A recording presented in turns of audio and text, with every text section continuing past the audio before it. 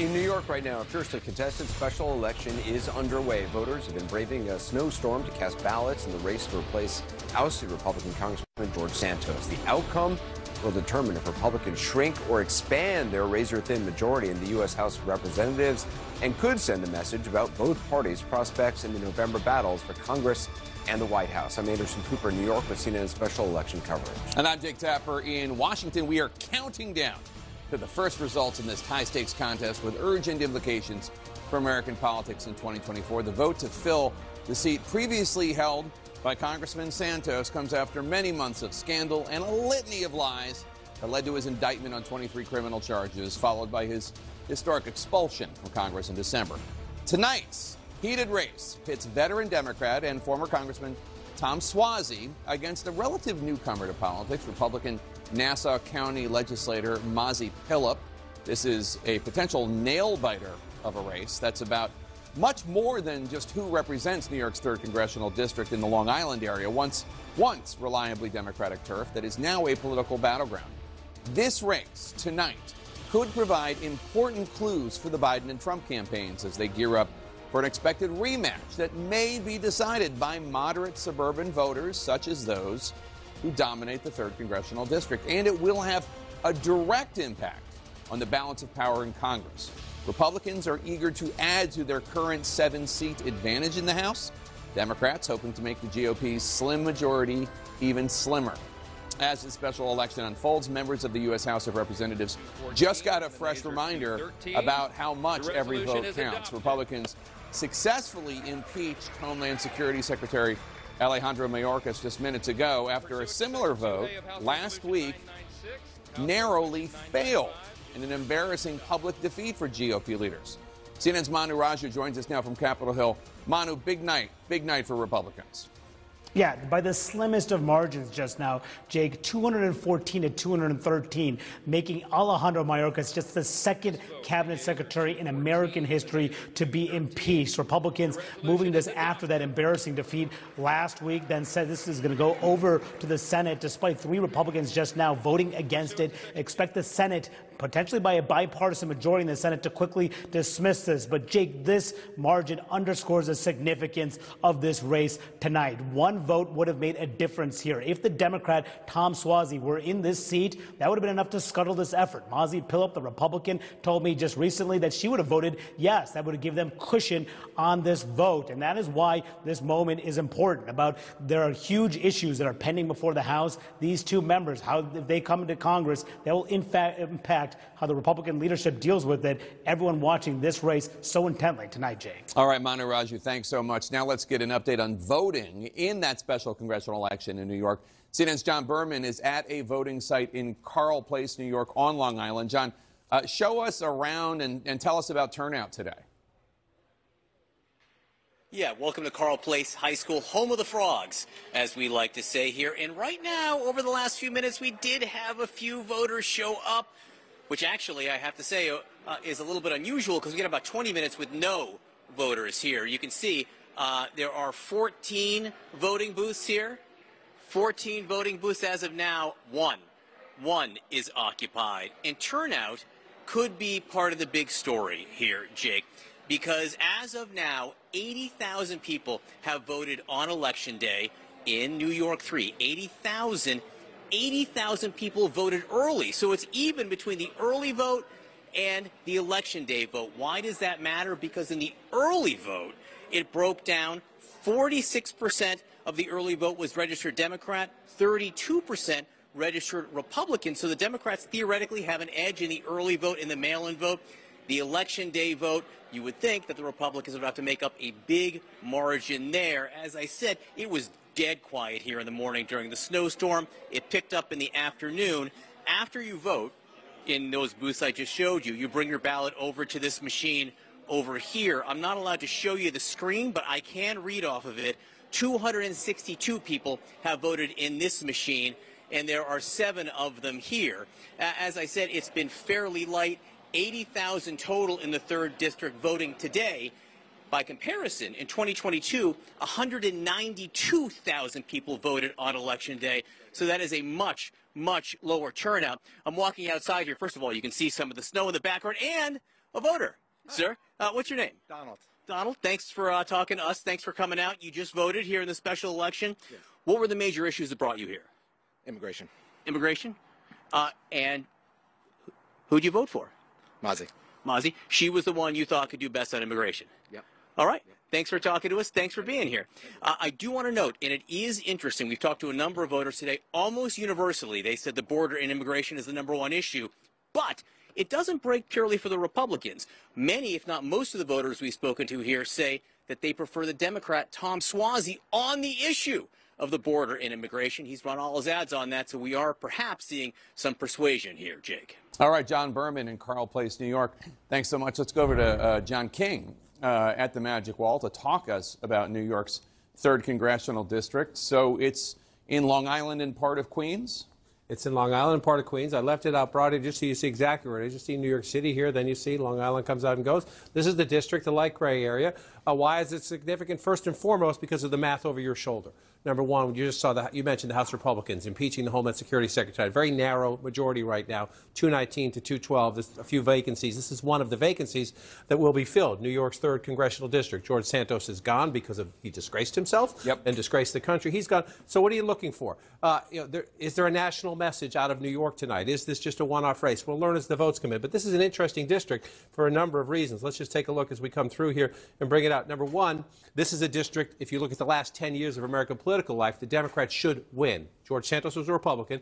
Why should Democrats win? Democrats have been doing very well among those higher educated voters. This district won at about one and a half times the national average in terms of voters that have a college degree, at least a bachelor's degree or higher. So it is more educated. That is one reason in recent political times you would say it should tilt Democratic. Another reason, this is a very affluent congressional district. If you look here, uh, 200,000.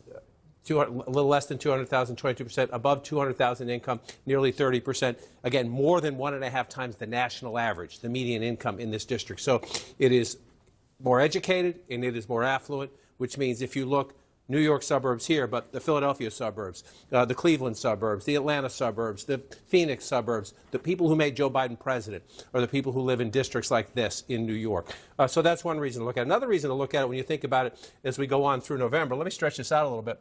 Really interesting demographics in this district. Not a huge black vote in this district, a traditional piece of the Democratic base. So Tom Suozzi has to get, number one, nearly 6 in 10 voters in the district are white. I talked to him about a couple weeks ago when he was in here. He pointed to this the Asian population, Asian voters. It's nearly 23% of the population in the district. It is a giant swing constituency. And he said it was trending back toward the Republicans, and he needed to pull it back. Also, we've seen in the 2020 presidential election, Latinos starting slowly, not hugely, but enough to make a difference, trending back toward Republicans. More than 13% of the electorate in this district. So uh, it's the suburbs. Uh, you have two great swing groups, Latinos and Asians, to keep an eye on. And let's see, let's see if it sends a message. Number one, tells Mike Johnson how big his majority is. And number two, we'll see if there are some November lessons. Exciting stuff. Dana Bash, uh, over to you. Well, Jake, these are two candidates who have very, very different backgrounds. In fact, the notion of the two of them wanting to be the representative from this district is about all they have in common. Tom Suozzi. The veteran politician My name is Tom Suozzi, and I'm running for the United States Congress. versus the newcomer. The high dollar, high stakes Long Island special election in New York's 3rd District. For me, it's Mazi versus Suozzi. And I'm hoping people will vote for Suozzi, not Mazi. Their names may rhyme, but that's about all Republican Mazi Pilip and Democrat Tom Suozzi have in common. I plan to vote for you. You plan? to? Oh, don't watch the debate then, because I don't want to. I don't want to lose your vote. Whomever wins this seat, vacant since Republican George Santos was expelled, will have a big impact on a House with a narrow GOP majority. Suozzi is a seasoned politician with deep roots in the district. Voy a votar por usted. He held the congressional seat for three terms, but left in 2022 in what ended up a failed bid for New York governor. Why do you want to go back to Congress? You know, our country's in a lot of trouble, and I feel like I have got a unique set of skills that can help during this difficult time. Congratulations, you are now a county legislator. His opponent hadn't held any office until three years ago. You were born in Ethiopia, moved to Israel when you were 12, and then came here. Yeah, that's the beautiful things about my journey. Even though I was born in Ethiopia in a small village, at the age of 12, I immigrated to Israel. I finished school there, I joined the IDF. I came to this country about 17 years ago. Um, my husband also immigrated from Ukraine to this country. The mother of seven, an Orthodox Jew, is not your average Nassau County Republican, and that's the point. I was just looking at a, a picture up there of a bunch of, of white men who are more typical of this area. What makes you think that in divided government you'll be able to do what you say you want to do? I will. I will because it's all about common sense government. I'm very good at working with people, collaborating with people, communicating. For me, it's not about Republican, Democrat. For me, it's about all about the people, about our country. For many voters, the top issue here is immigration. Biden has to do something about the border. The border is a big, big issue. Uh, to me right now, it'd have to be the border and everything that's been going on with that. Most of the $21 million spent on ads about the border. Biden's open border leads to violence right here. You've been hearing a lot of nonsense blaming Tom Suozzi for the migrant problem. It was the most explosive issue in their only debate. When you are in the majority in Congress, you voted to open the borders, you create the migrant crisis, and yes, you kicked ICE from here. When people said, let's abolish ICE, I was only one of 18 Democrats. I went against my party. Hey. That's Suozzi's strategy. Sound as tough as any Republican. We're nowhere near the southern border here in New York. Almost every single person I've talked to, they've said the border is their number one issue. Well, it's right here in our backyard. I mean, there are a lot of migrants that have come up uh, from Texas, uh, and it's affecting people's lives here. And the Republicans have very effectively weaponized it as an issue, as they did with crime a few years ago here in New York. Look at the borders. Pilip came out against the bipartisan immigration bill that died in the Senate last week. It wasn't answering the issue of the border crisis. And not because we don't What's want the solution then? The solution is we need to come up with plan in place how we're going to bring people legally to our country. The way I came to this country, the way my husband came to this country. Before Santos turned it red, Biden comfortably won this suburban part of Long Island. Democrats see it as a key indicator for this November, and they want it back. Joe Biden won what is now this district by eight percentage points. Why is this close? People are just upset that they're not seeing anything get done to address the things that affect their lives. And what about the Santos effect? I think people are fed up with the whole George Santos thing. It's over. It's yesterday's news. But for the fact that my opponent has not been transparent at all. Are you saying she's not transparent a la George Santos? Exactly the same. It's, it's Santos 2.0. She's, I, I would have not said this, but It's for a her. pretty big charge. She's been indicted. Yeah, but we don't know anything about her. He's a liar. Bruce Blakeman is executive of Nassau County, where the GOP machine is feverishly working to keep Suozzi from turning the seat blue. He walked away from the job. And now he wants to come back and represent people. So why give him a second chance? But at the polls, voters we talked to were split. I think a guy like Tom Suozzi's had a lot of opportunity to make an impact here in the local community already in Long Island. So better to have some a new face, a new, new blood. I would think so. I would think so. We voted for Suozzi How come? because he's normal. We Yes. need some normalcy in our country. Now, when Tom Suozzi says it's about Suozzi versus Mazi, he's not just making a pun. He's making a really important point that he wants voters to see him for the longtime local politician that he is, not like Joe Biden, who he admits is underwater in his district, not like the squad he mentioned. He went out of his way to tell me that he's concerned about the leftward drift of his party. And Anderson, Mazi Pilip, she also tried to run her own race. She didn't even admit to voting for President Trump until a few days ago. Anderson. All right, Dana, thanks. Uh, back with uh, the team here in, in New York. Uh, Scott Jennings, what, what to you? What is the importance of this race? Just kind of big picture. Well, number one, uh, you can see the party spending so much money on this. They're trying to buy some narrative momentum, right? You know, if the Republicans can win, it shows a little bit of momentum. If Democrats can take a seat back, it kind of staunches some of the bleeding that they've been doing in the national uh, media cycle lately. So that's number one. Number two, testing out this immigration issue. It's obviously the top issue in the race. Uh, and the Republicans really do believe uh, that it is going to be useful in all kinds of districts across the country that are nowhere near the southern border. So this is the first test case for that. Now they have been outspent uh, about two to one. Uh, and I think the Republicans are targeting about 24 districts this year that are less Democratic than this one. So even if they don't win, if they get close here or win using immigration as an issue, I think you're going to see this uh, become a obviously a key strategy in all these other targeted races throughout the rest of the year. Kathleen, just in terms of, of the race, uh, how do you see it going? Well, so I, this is obviously we have to keep in mind that this is a special election. So um, I think that they have been trending more Democratic since 2023 um, or, and last year the, with Pat Ryan, who won a special election. But um, I think if you look at the registration, it should be Tom Suozzi. If you look at the turnout, at least early voting, it should be Tom Suozzi. But I think Dem- it's gonna be Democrats traditionally in this district vote early, uh, and Republicans vote uh, Yes. on the day of the election. The, there was a snowstorm this morning. Right. Turnout a little low uh, this morning. Question is, will it? So that set it back a little bit, but the numbers are still very, very close. And I think that, you know, what, as Scott was talking about, what the issues are, you know, two years ago it was public safety. Now it's the migrant issue. And these have been very good issues for Republicans to run on. But if you look at since 2020, you know, when Democrats say, oh, this was a Biden plus this or Biden plus that, since 2021, at least on Long Island, the trend has not been hmm. Biden. It has not been Democrats. There has not been a Democratic win on Long Island since 2020. which is why uh, if we beat, if I'm a Democrat, if we beat them today, it begins to punch back on this idea that immigration is going to be a big killer issue for the Republicans. Definitely. It's important because, you know. But immigration does seem to be the biggest yeah, issue. Yeah, and if we win, it shows that it's not going to be this walkaway issue that the Republicans think. They've generated this whole thing. They put a bunch of uh, migrants on buses and sent them up here to scramble up politics in blue states and blue cities to make it tough for us, to make immigration a real issue for us.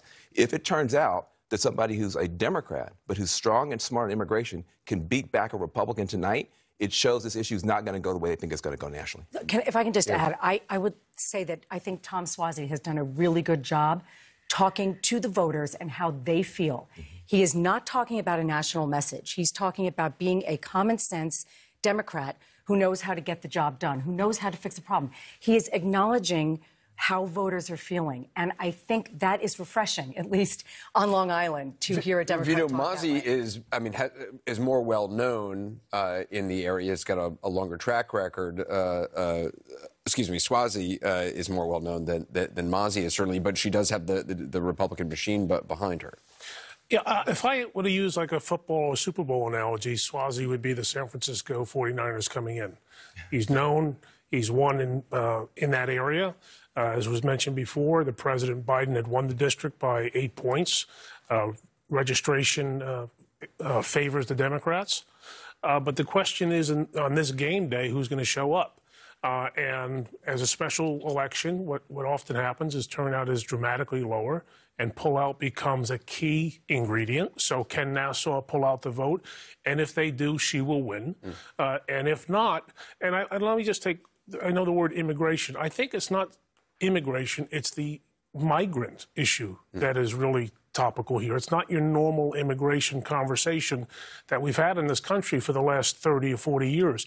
It's where people come here illegally, they're sent to places like New York City, they're kicking cops in Times Square in the, in, on 8:30 few, and watch, and watching, you know. So I think that's where uh, that's where, where we're going to go. Yeah, immigration uh, crime, the issue. As we count down to the end of voting, the first results in tonight's pivotal House race will be joined live by Republican presidential candidate Nikki Haley, who's just days away from her next primary showdown with Donald Trump.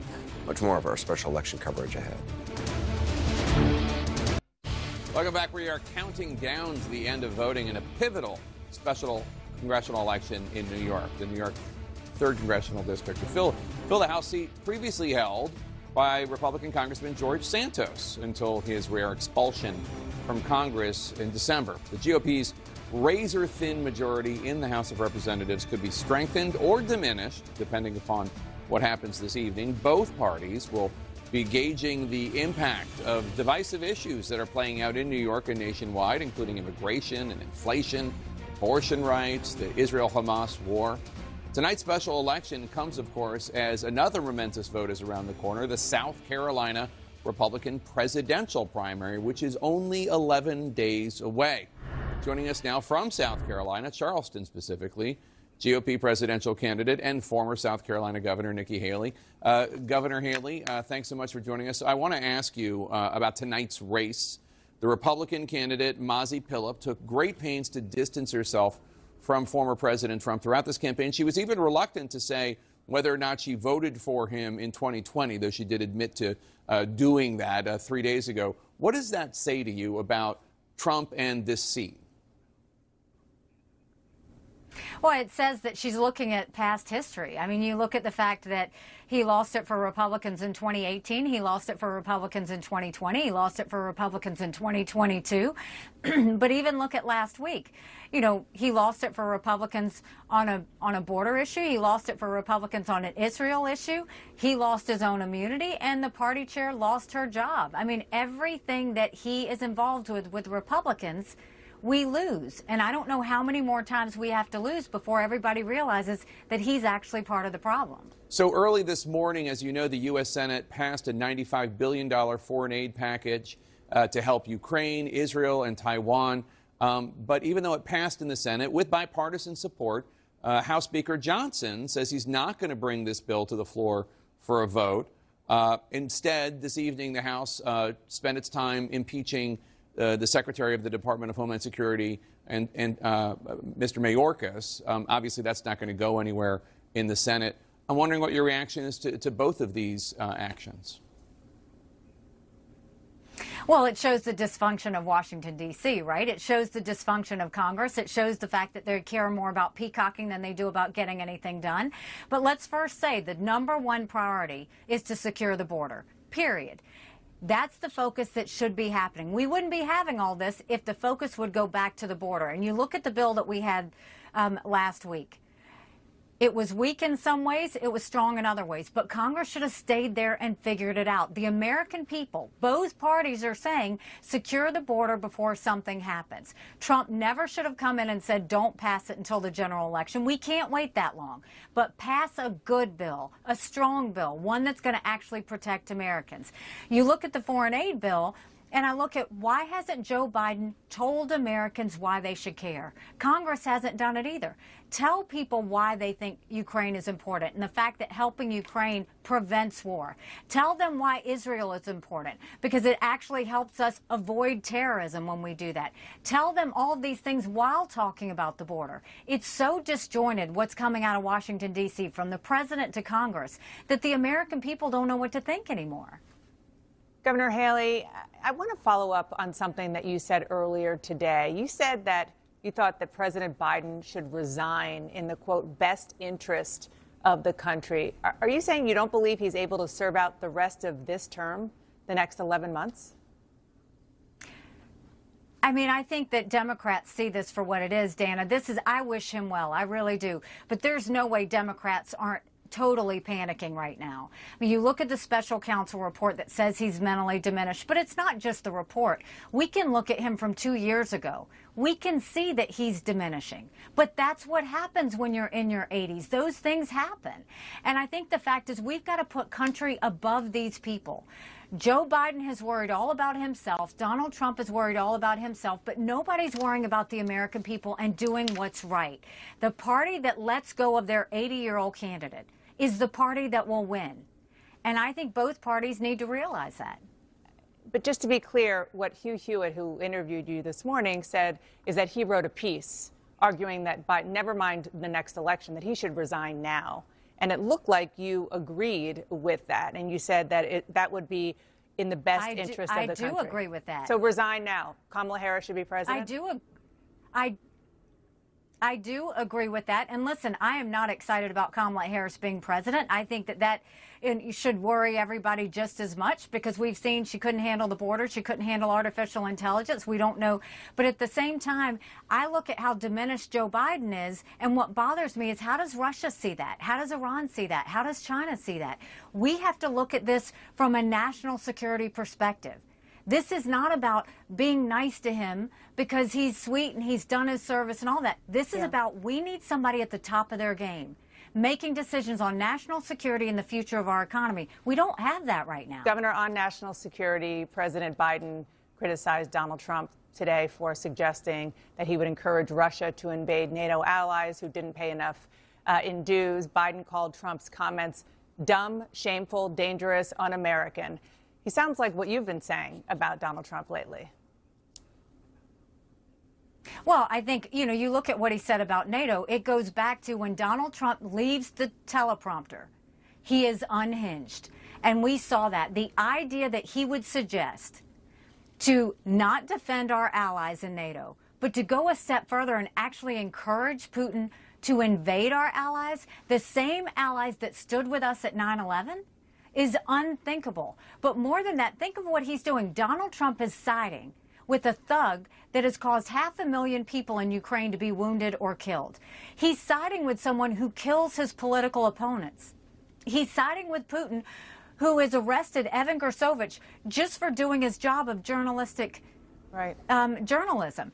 I mean, he's siding with someone who has wanted to destroy America. That is not someone that you want at the top of the ticket. That's not someone you want to lead our country, and that's not someone who's going to prevent war this kind of uh, these kind of comments that you just made now about Donald Trump, uh, co combined with uh, your reaction to what he said this week about your husband uh, being absent, even though he's uh, representing America and serving America uh, in in Africa in, in the military, made you say that you don't think that Donald Trump is qualified to be president. Are you rethinking your pledge to support Trump if he's the nominee? What I said is if you look at what he said, Look, it's not personal with me and Michael. We know that in politics, you get a lot of arrows thrown at you. It's not personal. And that's actually very different than Donald Trump, who takes everything personally. This should be about the American people. The problem with what he said is if you mock one person in the military, you're mocking everybody in the military. This sacrifice, they don't make this sacrifice because it's fun or for kicks and giggles. They sacrifice and they're willing to shed blood because they believe that this is about something bigger than themselves. They know freedom is not free. And the right. fact that he would mock them, but this is a pattern that we've seen over and over again when he said that dying military members were suckers or losers, or when he was at Arlington National Cemetery and he said, What was in it for them? To keep saying these things is an insult to every military family who sacrifices when their loved ones go away. And that, how do you have someone who's going to lead our country when you don't think he's going to protect the people who are willing to make that, that extreme sacrifice? It's just very concerning. So it sounds like you are rethinking your pledge to support him if he's the nominee. What I'm thinking is y'all need to ask him what he has to say about that because he owes a lot of military families an explanation with that. He owes a lot of veterans an explanation on that. You don't disrespect someone who's done something that you weren't willing to do. He was not willing to go overseas, but supposedly because he had bone spurs. He's never been near a military uniform. He has no right to talk about anything that a service member does because that's off limits with him when he wasn't willing to serve himself. Governor, thank you so much for being here tonight. We appreciate it. Thanks so much. Go to NikkiHaley.com. There is much more coming up in our special election coverage as voting is winding down in the congressional race to replace expelled Republican Congressman George Santos. Up next, the trail of lies and alleged crimes that stunned Santos's constituents and the nation, finally persuading even his fellow Republicans to boot him from Congress. Wait, take the elevator. Calm down. Calm down. You guys got to let him. Tick tock, time's running out for New York voters on Long Island and parts of Queens to choose a new representative in Congress. We are standing by for the very first results in this high stakes special election to replace a famously or infamously expelled member of the House, now a criminal defendant named George Santos. There would not be a special election tonight if it were not for the George Santos saga. Manu Raju covered every moment of it. Manu, walk us through as many of the lies and allegations surrounding Santos as you can squeeze into a package uh, that doesn't last seven hours. And that did lead to his rare expulsion from the House. Yeah, look, the, he weathered the storm for months and weathered expulsion vote after expulsion vote. But at the end of the day, the criminal indictments on top of a damning House ethics report proved to be too much for Republicans and Democrats. Make way, Mr. Santos, Mr. Santos, you'll react. George Santos left a historic legacy in his short time in Congress. George Santos is the Mary Magdalene of United States Congress. Just maybe not the legacy he would have wanted. He became the sixth member ever expelled from the chamber, and the first to be expelled without being convicted of a crime or supporting the Confederacy. It all started with an unexpected rise. In New York's third district, George Santos, they pick up for the Republican Party. And a dramatic fall. In light of the expulsion of the gentleman from New York, and a disgraced congressman defiant until the end. I'm not going to sit here and continuously debate my entire life. Before his election in 2022, few had ever heard the name George Santos, and it might have stayed that way if not for a bombshell report about his background. A newly elected Republican congressman from New York is under scrutiny this morning. Major aspects of his resume are being called into question. Santos seemed to lie about virtually everything from his family. My grandparents survived the Holocaust. I'm a Latino Jew. My mom was a 9 11 survivor. To his education. They sent me to a good prep school. I actually went to school on a volleyball scholarship. I put myself through college and got an MBA from NYU. To his work experience. I was a party politician and I worked for Goldman Sachs. You worked for Goldman Sachs in New York? A picture of a man whose public face was built on lies. Lies that made him fodder for late night comics. I know how I'll be remembered as a martyr. I was the first openly gay Jewish Republican Latino to walk on the moon. I don't consider the things I've said to be lies. They're, uh, they're what my great grandfather, Winston Churchill, he would call them embellishments. And a pariah in Congress. He's an embarrassment to our party. He's an embarrassment to the United States Congress. Whose unpredictable antics kept everyone guessing. You guys are staying out here all day, so I just wanted to make sure you guys are taken care of. One of my staffers' baby. Look at this baby. I want him out of here. He's an animal. But as the lies mounted, Santos admitted to fabricating some of his background. I always joke, I'm Catholic, but I'm also Jew-ish, as in ish. Did I embellish my resume? Yes, I did.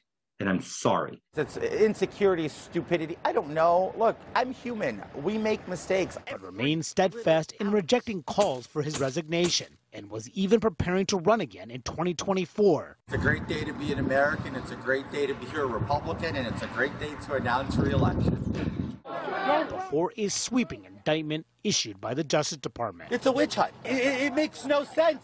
23 charges in total embezzlement, wire fraud, money laundering, campaign finance violations. The list goes on. Yet Santa survived not one, but two attempts to expel him, with many members waiting for the House Ethics Committee before taking action. But when the ethics report was released, it was explosive. There were hotels and taxi bills from Las Vegas charged to his campaign, makeup at Sephora, Botox even, OnlyFans charged to the campaign too. OnlyFans is a subscription based risque website, a website that Santos swore he had never heard of in March, four months after his purchases. I just discovered what OnlyFans was about three weeks ago. The damning report turned the tide against Santos in the House. This is bullying. And when it led to another expulsion vote, it was a landslide. Santos seemed relieved to reach an end of his saga in Congress. Tell me what this year has been like for you. Hell. Hell. Hell. Hell in the most profound way. Relishing his post expulsion fame, doing interviews with comedians. The lesson is to stop inviting you places. But you can't. People want the content. And making money recording videos on the website Cameo. Well, happy, happy birthday! Or I can just do the happy birthday to you. Tonight's election is simply the latest chapter in this chaotic saga. A special election with a chance to shrink the House GOP majority to a razor thin margin. And possibly a first referendum on President Biden in this crucial election year. Wow. That was something. That was something to live through. Joining us now, one of the most outspoken Republicans in calling for the ouster of George Santos, Congressman Mike Lawler uh, of New York. Uh, thanks so much uh, for joining us, Congressman. First of all, as you know better than most, uh, there are a lot of House Republicans reluctant to kick Santos out of uh, the Congress uh, because of the very narrow majority Republicans have. If Mazi Pilip, the Republican, does not win tonight, will you regret calling for Santos to be ousted? No. Uh, it was the right thing to do. He was unfit to serve as a member of Congress. He not only defrauded the voters, uh, he defrauded donors, uh, stealing money uh, through shell companies, through the campaign. Uh, his treasurer pled guilty. A campaign staffer pled guilty to impersonating Kevin McCarthy's chief of staff. Uh, you have to have standards. Uh, and uh, ultimately, he was allowed and afforded due process uh, with the Ethics Committee, which is what many of my colleagues were concerned about. Uh, myself, Anthony D'Esposito, Nick LaLota, Mark Molinaro, we called for him to resign immediately when these allegations first surfaced uh, because from our own interactions, we thought there was something wrong with him. Uh, but ultimately, uh, when you see all the evidence that came out, putting aside all the litany of lies, but the criminal uh, evidence that came out, 23 felony counts, uh, he was unfit to serve. So I stand by uh, the decision to expel him. Uh, sometimes you have to take a stand that's bigger than party.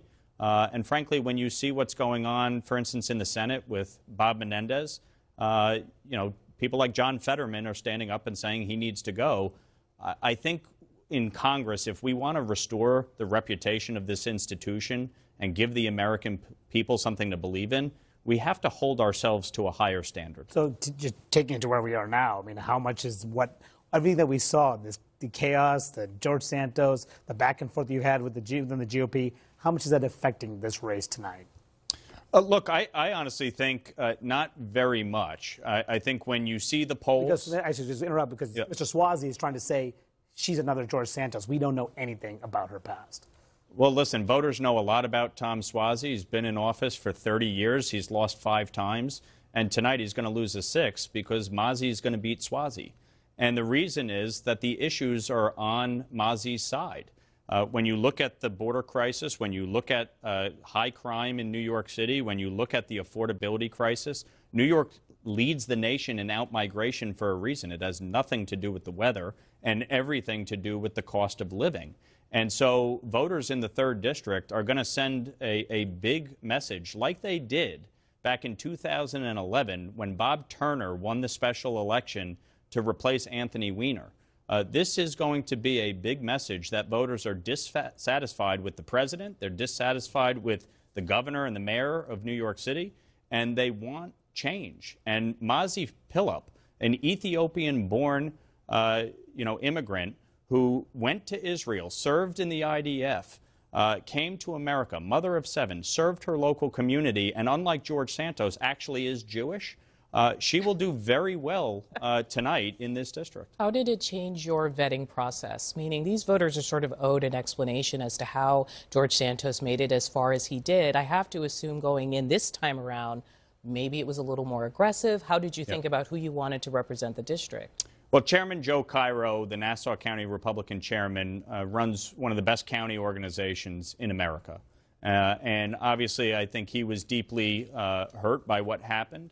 Uh, I know that they had a very thorough vetting process uh, in in this uh, process to select uh, Mazi Pilip. Yeah, Santos slipped um, twice, so he did, and and you know, frankly, Tom Suozzi is part of the reason that he was yeah. unvetted. Wait, yeah, Tom but isn't it? Admitted, you have one job: Tom recruit a candidate admitted, and Tom them... Suozzi admitted that they never did an Oppo research book on George Santos when he ran in 2020. And to me, that's insane. I mean, I, listen, I've been a consultant, I've been an elected official. You do Oppo research on your opponent. This was a failure on the part of both parties to vet uh, the candidate, both the Republicans who failed to vet him prior uh, and the Democrats who, I guess, took for granted that they were going to win a seat that Joe Biden won by about eight points uh, and just thought it would be a breeze. Uh, and frankly, the press. I mean, the national press and the New York press did not really do a, a good job. The local press actually did. But I'm asking uh, because so, Suozzi is now making an argument that who is this person? She is not out and about as much as she could be. She waited until the very last minute to really accept a debate. And so he's saying, look, yet again, there's another perfect resume. But what do we know about this person? Listen, with respect to debates, I mean, we can go through the litany of people who only accept one debate or multiple debates. Uh, that's not really what voters hang their hat on. Voters want to know what it is that you're going to do to help them.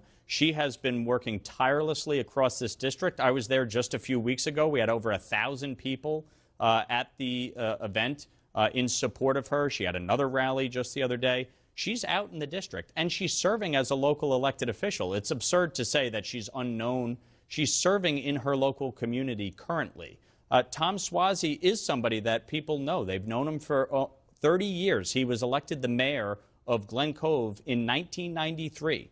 He has lost five elections in large part because people know he's a phony.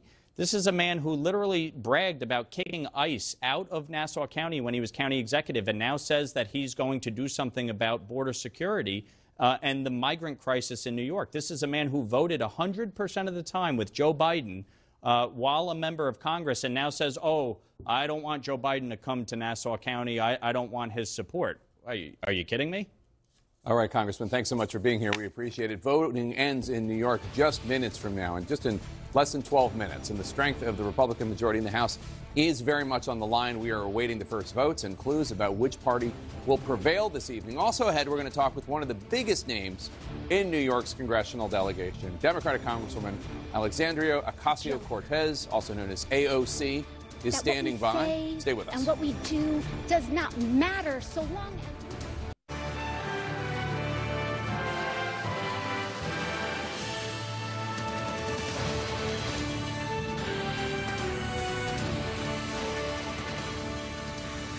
Voting ends just minutes from now in this high stakes special congressional election in the Long Island area of New York. The House seat previously held by ousted Republican Congressman George Santos. That's him right there. Remember him? Over two months after his historic expulsion from Congress. Many voters today looking to move past the Santos scandal as they choose between the Democrat, former U.S. Congressman Tom Suozzi, and the Republican, Nassau County legislator Mazi Pilip. Their close fight to represent the 3rd Congressional District will determine if Republicans hold on to this New York seat, expanding their slim seven seat advantage in the House, or if Democrats pull off a win that chips away at that GOP majority as the polls are about to close any minute. Let's go back to a key voting location. John Berman is in Carle Place, New York. Uh, John, what's happening where you are and what happens next? Yeah, Carle Place High here, home of the Frogs. It feels like last call, to be honest, here, Jake. You can see the poll workers have already started to push the voting machines together. We did see one voter there getting his last minute ballot in. If you are in Carle Place, close by Carle Place High in the next six minutes, you can show up. Anyone in line at 9 o'clock will be able to vote, but I will tell you, if there's no one here, they're going to shut this place down at 9 o'clock sharp. Then the work begins here. Again, every ballot that was cast here, and most of the people you see here are either poll workers or poll watchers at this point. Once the ballots are cast here, and you can look here, they are fed into these machines. And there are seven of these machines here. At 9 o'clock, once the polls close here, each one of these machines, they're going to close them up. They're going to take the paper ballots out, and they will print what they call tape receipts. And those will have the results, preliminary results, from each one of these machines. Here's one, Here's another. You can see they line the walls here, seven of them. From each machine, we will get the results, and they will be fairly telling. Just election day results, just election day results, and I can tell you on this machine, for instance, 103 ballots, 113, I'm sorry, 113 ballots were cast today. On this machine, 274 ballots were cast today. We'll get the results in about 15, 20 minutes from each one of these machines, and it will be telling. Why? Because the election day vote here has been low compared to normal elections. High for a special election, but low, especially in comparison to the early vote. Early and mail in vote. 80,000 people voted early or by mail. And the registration breakdown of the early vote 46% Democratic, 32% Republican, the rest are other. So you get a sense the election day vote, Republicans will have to make up Mazi Pilip will have to make up significant ground in theory in the registration in the election day vote. And this is Nassau County, which is, over the last few years, traditionally more and more Republican. Will she have an edge here from these machines in the election day vote? That is one of the things we'll be looking for. If she doesn't have an edge or not a big edge, it may, it may give you a sign of where this night is headed, Jake. All right, John Berman, thanks so much. It's about to close down uh, in that voting place. You, you, don't have to go home, but you can't stay there. John King, we're at the magic wall here. This is New York's third congressional district. What are you going to be looking for? You could stay there if you want to watch them count them. Watch John Berman do some math on live television. That'd be fun. Uh, uh, look, uh, John makes a very important point. Number one, uh, what is the final number, Jake, of the election day vote? Because we do know Republicans view it more as a holiday. They tend to more, be more traditional and vote on election day. We see that all across the country. Uh, if Democrats had an advantage in early voting, did the weather Uh, did the fact that it's a special election, did that combination depress turnout? Does that help the Democrat? We'll see. We'll be counting votes in just a matter of minutes. So you mentioned this is the district. Let's zoom a little bit. One thing interesting about it, John is in Nassau County. Let me just put the county lines up here. You see the line right here. This is Queens County. This is part of New York City. Uh, Queens County is part of Queens, right? So you're on the edge of New York City. Tom Suozzi has to run it up here. Uh, and we'll get some early votes here pretty early on. Uh, they're likely to be, when we get those early votes, they're likely to be lopsided Democratic. That's good for Tom Suozzi, but remember, as we've seen in recent elections, especially since COVID, there's more early voting. It tends to be disproportionately Democratic, so that he needs that. But that doesn't mean, oh, game over. We have to count throughout the night. So you'll see that early on. But that's Queens County. Then you come over here. This is where John is, out in Nassau County. Uh, this is where Mazi Pilip just simply has to, you know, not only compete in the early vote when we start to see that, but run it up. But it is a different district in the sense that as you move away from the city, you get more suburban, and that is the tug of war. How is this district matter? Let me pull out a little bit, come back here. Just in New York, right? I'm going to show you in the country, we have so-called swing districts, right? These are districts, Republican-held districts that Joe Biden won, right? So you watch this right here. Let me come out and pull it out to the thing here. This is this one right here is here. If you come back and look at the House of Representatives now, right? This one is here. We're looking at tonight. But then if you pull it out, there are 17 of these. And so, will this district tell us anything about these? If you're the Democrats, now in a presidential cycle, these are Joe Biden won these districts in 2020. Republicans won them in 2022. So in the tug of war for the control of the House of Representatives, you know, Republicans are going for the narrow Biden wins, but the Democrats are trying to take them back. So does this district in New York tonight tell us anything that you might apply? Because many of these districts, like this one, are those competitive suburban districts, higher education, higher income, have been trending Democratic, but we have seen signs the Republicans are starting to pull them back. That tug of war gets one vote tonight as we count votes in a bit. Congressman Mike Lawler, who we just interviewed. Republican uh, from New York, he also comes from one of those Biden districts. He sure does. He comes from right here. Uh, you come up here and look how close it was. He beat a very important. Remember, Sean Maloney ran the Democratic yeah. Campaign Committee. House yeah, he was a member committee. of the Democratic leadership. Yeah, a key Nancy Pelosi ally in the House leadership. Uh, look how close it was in the 2020 midterm. So Mike Lawler, one of the reasons he wanted to get rid of George Santos, I take him at his word. He thought George Santos was a disgrace uh, to the institution. He also wanted to get rid of him because of the baggage. George Santos caused anybody who's running in a very competitive district does not want to, you know, you have to you want to deal with your own race. You don't want to be answering questions about somebody else at the same time. So he wanted to get rid of George Santos. Number one, for the integrity of the institution. I do take him at his word. But number two, uh, those New York Republicans who led the charge, Jake, uh, they understood George Santos was an embarrassment, yes, but he was also a political liability. So again, in moments we'll get votes. This is all of the House districts. You see here that Biden won. Uh, tonight, we're focused on this one right down here. Begins in the city, stretches out to Long Island. Jake. All right. Voting ends just moments from now. Three seconds. Look at that. In the contentious fight to replace ousted Republican George Santos in the U.S. House of Representatives. And here is our key race alert. It's too early to call the special election in New York's 3rd Congressional District between Democrat Tom Suozzi and Republican Mazi Pilip as we watch the results come in. Remember, the outcome tonight will expand or shrink the GOP's narrow majority in the House. It will affect Republicans' ability to push through legislation or Democrats' ability to block it. Republicans currently have 219 seats versus 212 for the Democrats. We'll see how those numbers change in the hour ahead. Let's check in with our correspondents now who are on Long Island covering the candidates. CNN's Miguel Marquez is in Woodbury, New York at the headquarters of the Democratic candidate, former Congressman Tom Suozzi. Miguel, what are you hearing from the Suozzi campaign about turnout and expectations? Uh, surprisingly, there their sense of the expectation tonight is uh, very, very positive. I saw Tom Suozzi earlier today. He said that because of the heavy snowfall early in the day, that the numbers were down, and most likely that was bringing down Republican voters. Uh, and it's not clear that uh, that has changed at all. I want to show you, as the party is ending for John Berman, the party here at the Suozzi headquarters is starting to pick up. We also spoke to Jay Jacobs, who's the head of the Nassau Democratic Party and the state party. He says the numbers are looking exceptionally good for them, uh, much better than they were in 2022. Uh, he did say the one thing that they are watching for in this first data dump that uh, we are expecting to come very soon uh, are those unaffiliated voters and how they broke. The, the number of Democrats from early votes, absentee, and and day of uh, and day of are favoring the Democrats, but it's unclear how many Democrats are voting for Republicans. So that first dump will tell them that, and it will also tell them how unaffiliated voters are breaking. And they expect they will have, they seem to expect they'll have very good news. Uh, Tom Suozzi, his campaign say that he, he expects to speak here at around 11 p.m. tonight, perhaps a little before, uh, expressing a sense of confidence that Mhm. they'll have a result by then. Thanks, uh, CNN's Miguel Marquez in Woodbury, New York. Let's go to Glen Cove, uh, New York, right now, where Shimon Prokupecz is at uh, a, a voting center. Uh, uh, Shimon, what's going on? They counting actual votes now?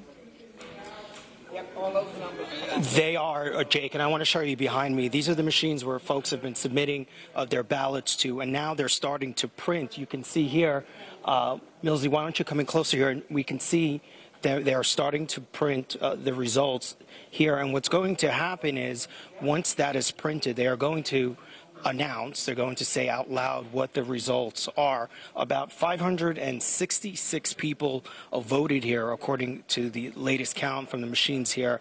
Uh, and the doors have just closed. A couple of last minute folks walked in, they voted, and now we are in the process of, of watching them as this. Uh, process takes place here as they start to tabulate these votes. This is another, there are three tables here. Uh, this is another table here, same process. They're going through uh, all the steps that they need to as they begin to print and start to count these uh, votes. And then there's another one here at the end as well. Uh, so the process is underway, and any minute here now, uh, we should know what the results are here.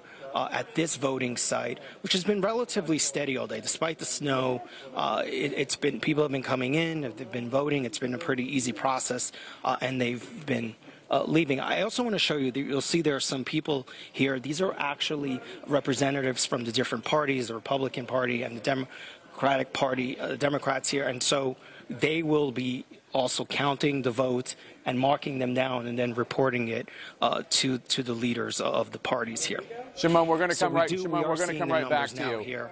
Shimon, we're going to come right Yep. back to you. Uh, we're going to go to John Berman uh, right now, who's in Carle Place, and uh, get some numbers from him. Uh, John, uh, what's going on where you are? All right, this is the machine. This is election district 47 in Carle Place. These are my friends Howard and Becky who've been working this machine. We have some results from the tape that was just printed out. Correct. Suozzi, 53. Mazi a total of 117. Okay, so that was 117 votes for Mazi, 170 votes total. One, 117 for Mazi Pilip, 53 for Tom Suozzi. So you can see that machine by almost a two to one, over a two to one margin here in Nassau County in Carle Place went for Mazi Pilip. I believe in this machine we're also getting results. Let me walk over here to my friend Brian who's been working this machine. This machine. The tape is just coming out of this machine now. Okay, good. So here we go, Mike. Here's it's going out. It's reading out. My sweet lord, look at that. There's our votes, 274. Okay, all right. Interesting. So Suozzi pulled out 87 votes. Uh, his opposition, Mazi Pilip, 171 on the Republican, and then 15 as a conservative. Okay. M- Mazi Pilip, 171. Tom Suozzi, 87. That's two of the seven machines here that tell a similar story, Jake. So you can see the election day vote breaking, at least here in Carle Place, from these two machines heavily for Mazi Pilip. All right, John Berman, fascinating stuff. And let's bring you a key race alert right now because we have actual votes coming in. Let's take a look with 6% of the estimated vote in. Uh, Tom Suozzi, the Democrat, uh, has 65.1% of the vote. Uh, Mazi Pilip, uh, the Republican, has 34.9% of the vote. Tom Suozzi with 7,586 votes. That's roughly 3,500 votes ahead uh, of Mazi Pilip with just over uh, 4,000 votes. Remember, this is really early, and John was telling us that he expected a lot of those votes were going to come in from parts of Queens County, uh, which tends to be Democratic, and also this would be early vote, which would tend to be uh, Democratic. So this doesn't uh, mean anything uh, in particular. Uh, what we just saw, those actual numbers uh, with uh, Mazi behind Tom Suozzi. Right. It, it means that Suozzi's but based on that, doing roughly what he would need to do there. But that doesn't mean anything. Let me take off the county sign here so you get the full district, right? The reason you saw zero zero there is because I had the county separated to make that distinction.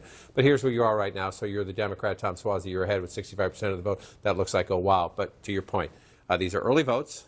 That's why they to count them so fast. They're already, you know, they're already in, and they have them tabulated. They, can't, they just can't release that until after the election. They, but they haven't counted. They go boom. So New York's one of those states where you can count early votes ahead of time. Right, right. You just can't release them. Some states you're not even allowed to count them until after the vote, the polls close. Right. And so I put up the county line here. I just want to make this distinction. So this disappears because we don't count votes by county. We count them by the district. So I just want to show you, though, what we're talking about. All the votes are coming from Queens County, which is the predominantly, overwhelmingly, Democratic area of the district. It gets more Republican, more competitive as you move out through the suburbs. So let's just take this off so you see it again. So it shows you that these are, you know, this is the, it's, you see, you see the whole district blue right now.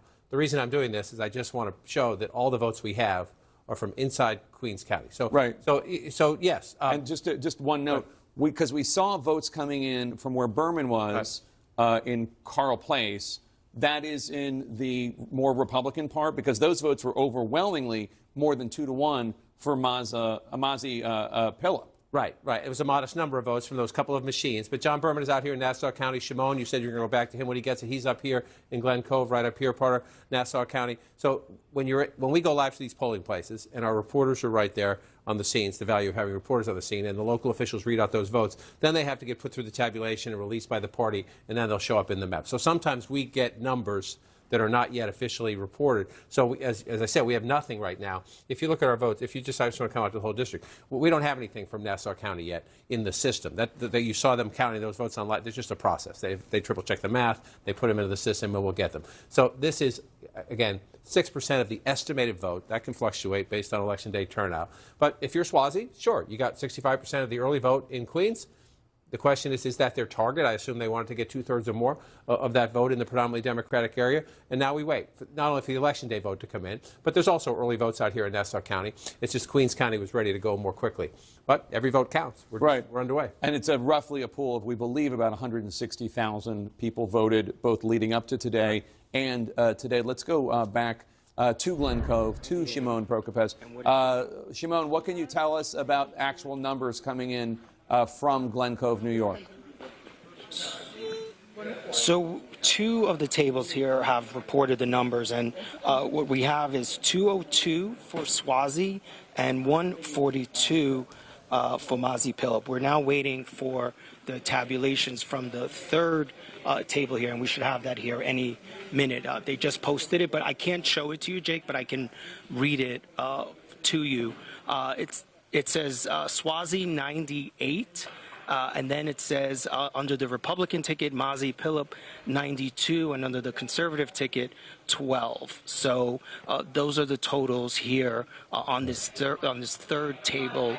Suozzi 98, and then 92 and 12 for Mazi Pilip. So, and Mazi's running so on both. What, about 10, 104? Yeah, so, and, and Mazi's running on both, which is not uncommon in, in New York. She's running on two different party tickets, right? The Conservative Party and the Republican Party ticket. So you combine those, and she has 100 and, 104 votes. Is that right from that from that one district or that one voting machine? Yeah, 10, I believe it's 104. 104. That's correct, Jake. 104 uh, from this third table. That plus additional to the 142 uh, uh, from the other two uh, voting districts here. Okay, John King, did you get those numbers, or you want you want him to repeat it? We can get him to repeat it again. No, I'm, I'm just waiting to see them as they feed in because okay. see, as, we have seen some very modest some change, movement, right? Very modest change in the vote total, but Pilip's closing the gap just a little bit, and that's what's going to happen as these smaller precincts uh, start to report as they start to come in. And again, earlier I showed you this, it's just to show the county breakdown here. Uh, we're waiting for more votes to come in out here, but the danger in this is that when you go to the county, it shows zero. So I don't, right. I'm not going to do this that often because I don't want to confuse people at home. To see them, they see zero votes and then they see a lot of votes. I just want to make the distinction that that big early tranche of votes. You're just showing people that from, all the yeah. votes so far are from the Queens County part of the congressional district, but right. most of the congressional district is uh, uh, right. So, Nassau. So, so you come out here. Yeah. So now, now we're waiting, and we'll see more of those votes tabulate as they come in. So that's probably the last time I go back there because it does confuse people when it goes back to zero here, and then all of a sudden they see, you know, uh, 15,000, 16,000 votes. Uh, but when you see Shimon and John Berman on the ground, again, they're reading out the machines totals there. Then they have to report into the party. Then they're fed into the system, and they will start to post up as we go through it.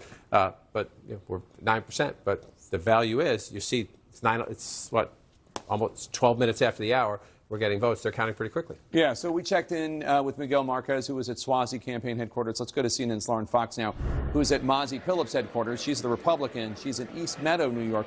Uh, Lauren, uh, what is the thinking inside Pilip's camp? What are you hearing about voter turnout? Any goals they tried to reach? Uh, what's the story? Yeah, Republicans overall are watching this race really closely. And Jake, they're nervous about the fact that turnout was low today. There was a snowstorm in this district.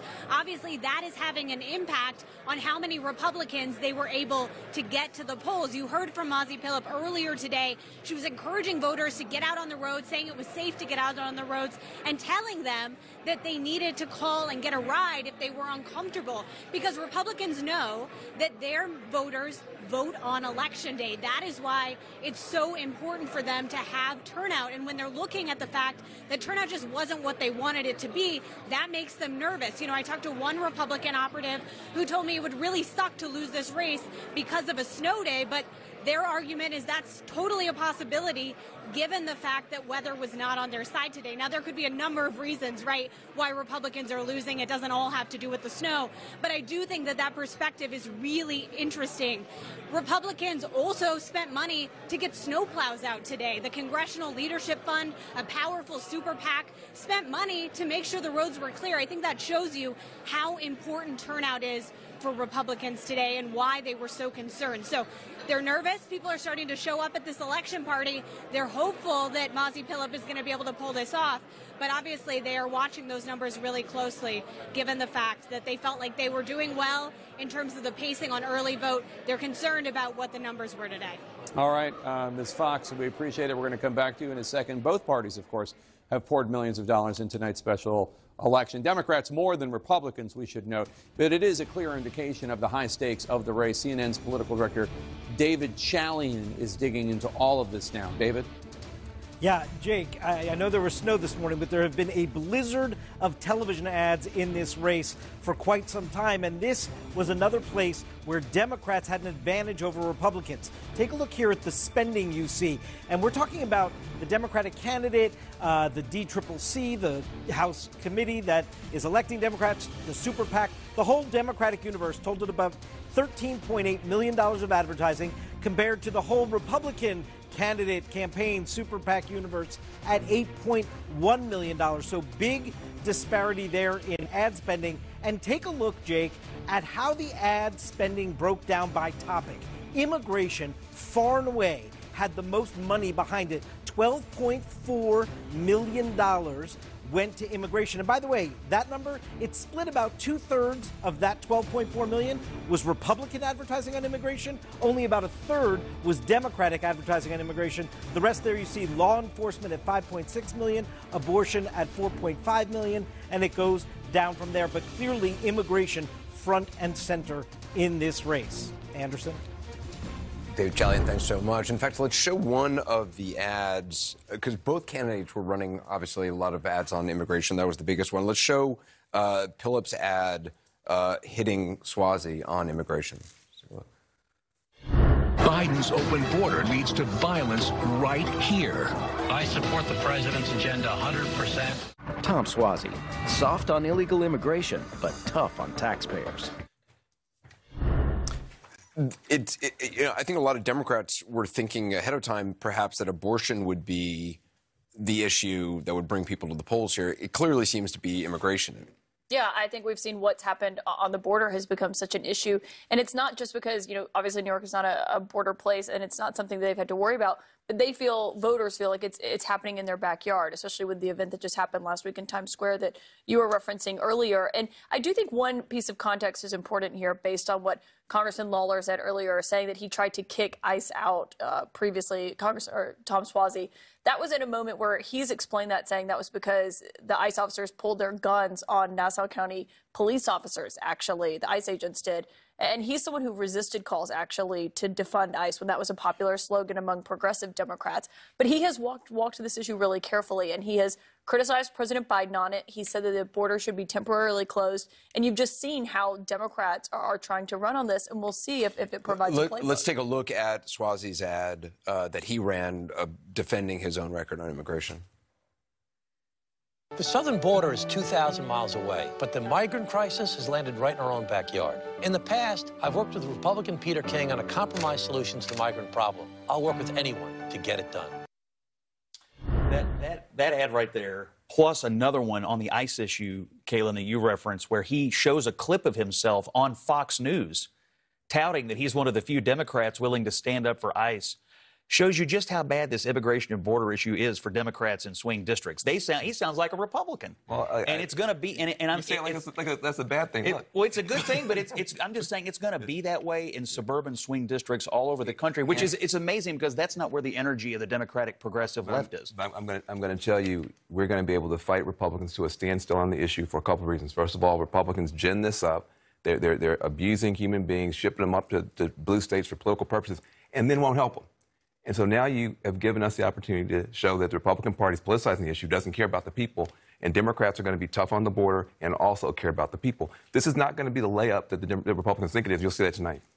I, I, I think that the issue of helping them is trumped in a lot of these places by the issue of can't we just shut down the border until we can figure out. We're trying. The Republicans want. Here, this, this, this is my point. I- I the, don't- I don't- the Republican Party has been, was begging, crying, saying, "Please, we got to do something about the border. Terrorists are going to come up here. They're going to kill everybody." And Democrats said, "You know what? Maybe you're right.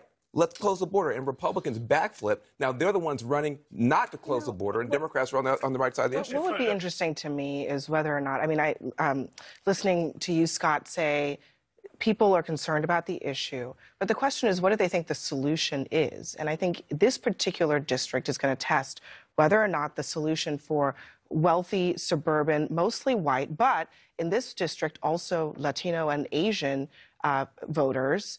Uh, is the solution to shut down the border or is it something else? And I, I don't know that the answer in the su- suburbs of New York, even to the same problem, is going to be uh, is going to be that, or it might be something else. Maybe it's closer to what Tom Suozzi is selling. I just think this particular district might be asking for solutions of a different nature. We're going to, we're going to go back to uh, Jake in D.C. Jake? Thanks, Anderson. Joining us now is one of the most high profile members of the New York congressional delegation, Democratic Congresswoman Alexandria Ocasio Cortez, also known as AOC. Thank you so much for being here. Appreciate it.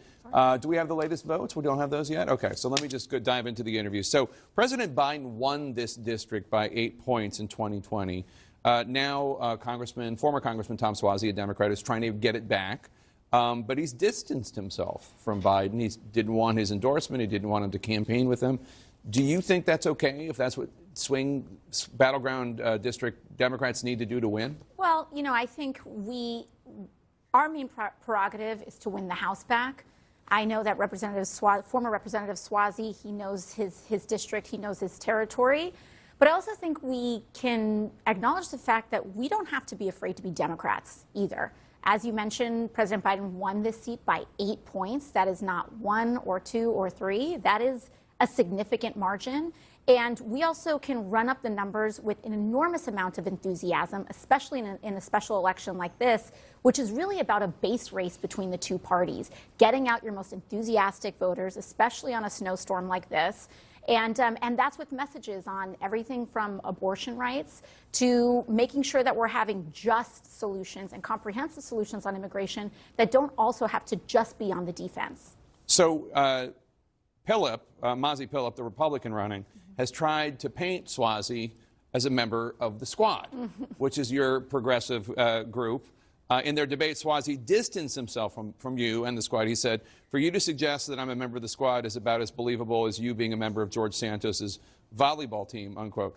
What do you, what do you make of, of her trying to tar him as a member of the squad? I, I mean, I, I would agree with, with Tom Suozzi, the idea that we are, you know, that we're part of the same kind of cadre uh, in Congress is incorrect. It's wrong. Um, but that doesn't mean that we're not on the same team. Uh, we're part of a Democratic coalition that's a broad base.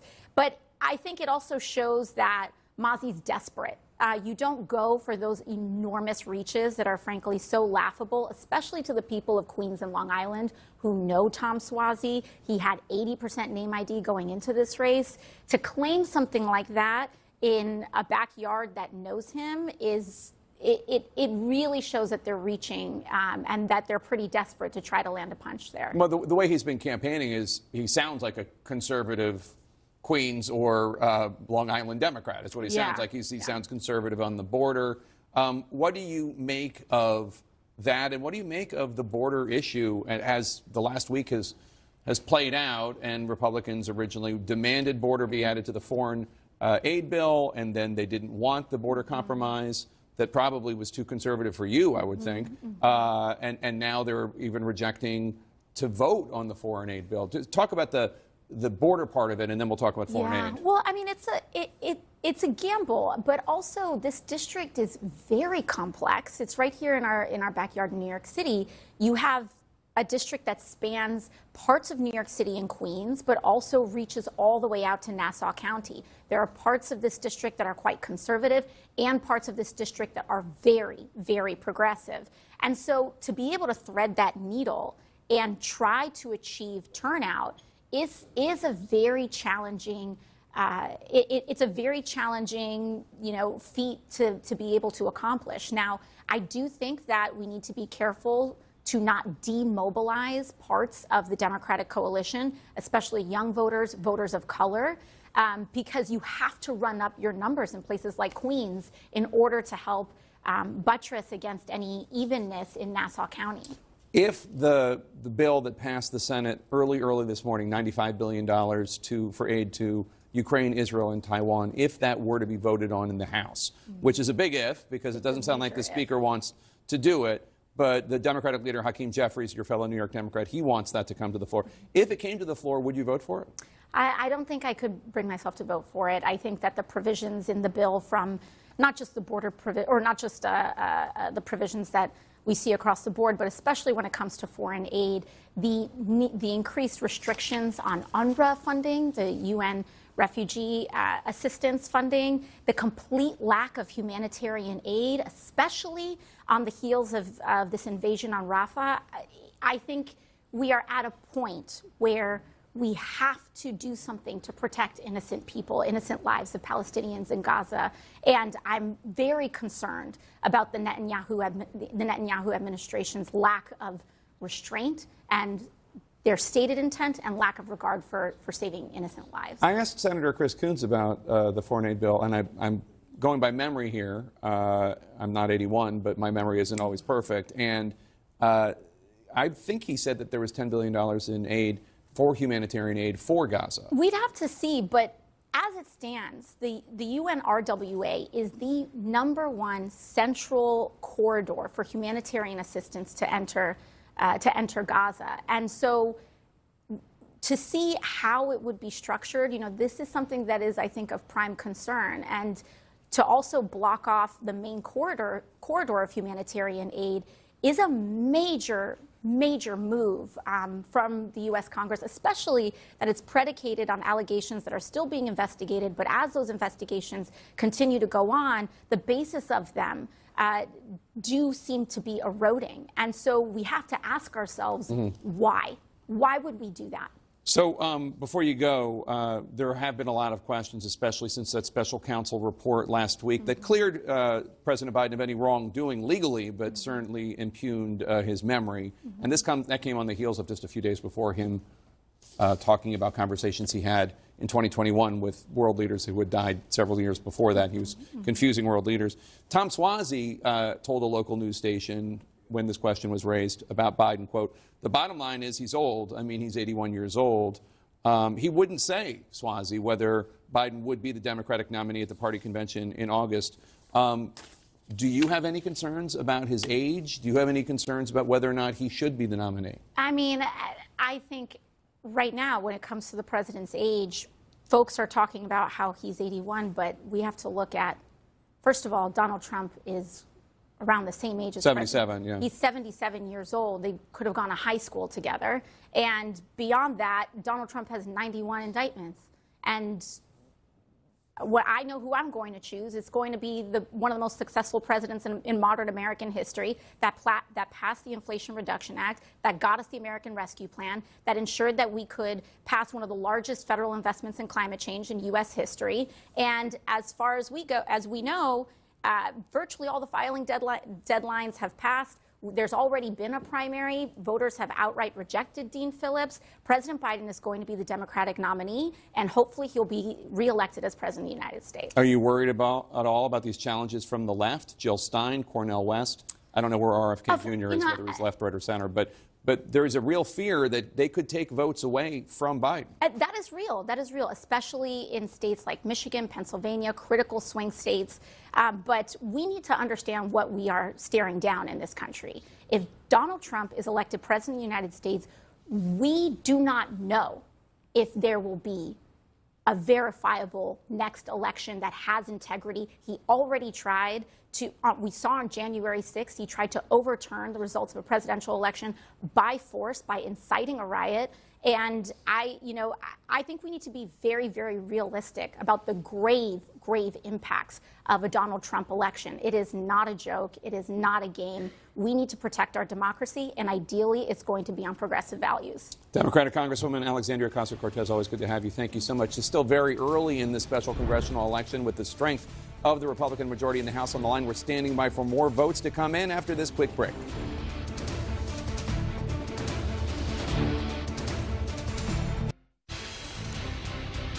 I have another key race alert for you fine folks. Let's take a look at what's going on with 13% of the estimated vote in.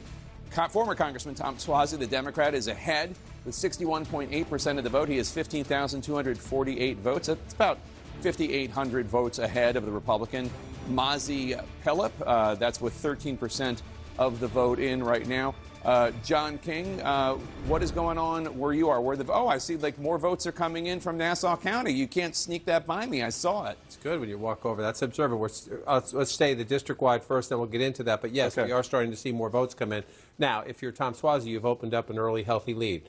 Uh, to those of you at home, that's what you want. You'd, you'd rather be on top. That's about, we're roughly around 13% of the vote, so we got a long way to go. So you see the whole district here filled in blue. I just want to split it by county to make the point you were just talking with, with the Congresswoman. Uh, this district uh, has a base here in New York City, sort of the easternmost part of New York City, Queens County, Queens.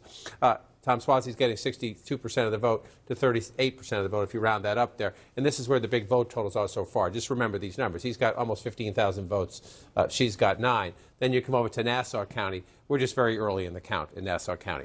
Uh, 709 votes when you match it all up. 60, you know, 57% for her, 43% for Suozzi. But it does tell you we're starting to get, we just saw numbers change right there. Uh, the numbers just changed as we're here. So the votes are starting to come in from Nassau County, and it's pretty obvious the challenge. As the votes come in here, number one, how high is the turnout? Number two, if he's getting 62%, we're up to about 80% there, we think, right? So that's stayed dropped a bit, but he stayed above 60%. If he's getting above 60%, closer to 63, 64% of the vote here, then simple math. She's got to match it and run it up here, and she needs the turnout. Uh, this is a populated, very you know, urban area, the urban area of the district. She needs in this big suburban area for turnout to be up. And our correspondent, that was a concern raised by our correspondents, both Shimon and John Berman, on the ground. Republicans do tend traditionally to honor voting on election day. They think it's more cool, uh, traditional to vote on election day. Did, we, did they turn out? Did they get there? Now, very early, but we think we're about 1% in the Nassau County part of it. So we got a ways to go. But if the Democrat has a giant base in the urban area of the district, the Republican better run it up in the suburbs as those votes come in in the time ahead. And that's when you pull out to the whole district. There's where we are, about, eh, about 14%. So there, the two factors here that, that uh, what I'm hearing from you and from our correspondents on the ground are a geography that that Suozzi does better closer to Manhattan, and Pilip Mazi Pilip does better uh, the farther out you get. But b also uh, when people voted, because John Berman said that about 80,000 people voted before election day. And Democrats appear to be winning those, at least according to party registration, as to who voted. That means 80,000 people voted today, and that would mean that we would, we would, uh, the con- um, Pilip, uh, Mazi Pilip would hope that she matches that uh, on the other side in terms of the proportion of Republicans versus Democrats that vote. And, and to do that, she's going to have to pull people back to the Republican fold. voters who if we go back to the George W. Bush days, before that, Ronald Reagan, George H.W. Bush days, George Pataki when he was governor days, uh, suburban Republicans, right? affluent people with college education, upper middle class to even higher than that, uh, who were Republicans, who became Democrats in the Obama and the Biden years in there. Uh, some of it is the running from Donald Trump. A lot of, Right. a lot of suburban Republicans ran from Donald Trump. Can she pull them back? To that point, just to make, you know, make the point in this district, uh, come on back, come on, for me here. What am I doing here? All right, doesn't want to come out. Well, we'll come back to that in a little bit. But this is this runs the education level in this district runs about one and a half times the national average, the percentage of people with a bachelor's degree or higher. More than one and a half times the national average, the percentage of the income, median income of this district. So can she get people who uh, come back to the county line? She's winning right here now, but it's a thousand votes. Uh, Right. You know, but but can, can she keep a keep this red and keep it red? This this is where you know Joe. You mentioned in the interview with the Congress. Republican congressman and the Democratic congresswoman, Joe Biden carried this district by eight points. Uh, was 2022 a blip? The New York Democrats had a problem drawing the map. It was the midterm election. Was that the blip, or are the suburbs starting to trend back to the Republicans? Can she hold it? That's one of the questions tonight. That's the big mystery we're going to see, and we expect more votes to be reported very soon. We'll see if Tom Suozzi's lead holds or if Mazi Pilip closes the gap in this high stakes special election. Our coverage continues right after this. And we're back. We have another key race alert for you with 14% of the estimated vote in. Democrat Tom Suozzi remains in the lead with 61.1% of the vote. That's 15,552 votes, roughly 5,600 votes ahead of Republican Mazi Pilip with 38.9% of the vote. But it is early yet. There is still a lot. There are still a lot of votes to count. Now, uh, let's go to Kristen Holmes. Now to the Trump factor, how it is and is not playing out in the special election. CNN's Kristen Holmes is in West Palm Beach, Florida, covering the Trump campaign. Kristen, Donald Trump, he's pretty much stayed away from this race. In fact, uh, it wasn't until a few days ago uh, that Ms. Pilip uh, acknowledged that she voted for Donald Trump. She did so uh, reluctantly. That's right, Jake. Mazi Pilip was eager to avoid talking about Donald Trump, and Donald Trump and his team were more than happy to avoid wading into this race. If you'll remember back in 2022, former President Trump tried unsuccessfully to wield political power with a number of endorsements that ended up losing in the general election.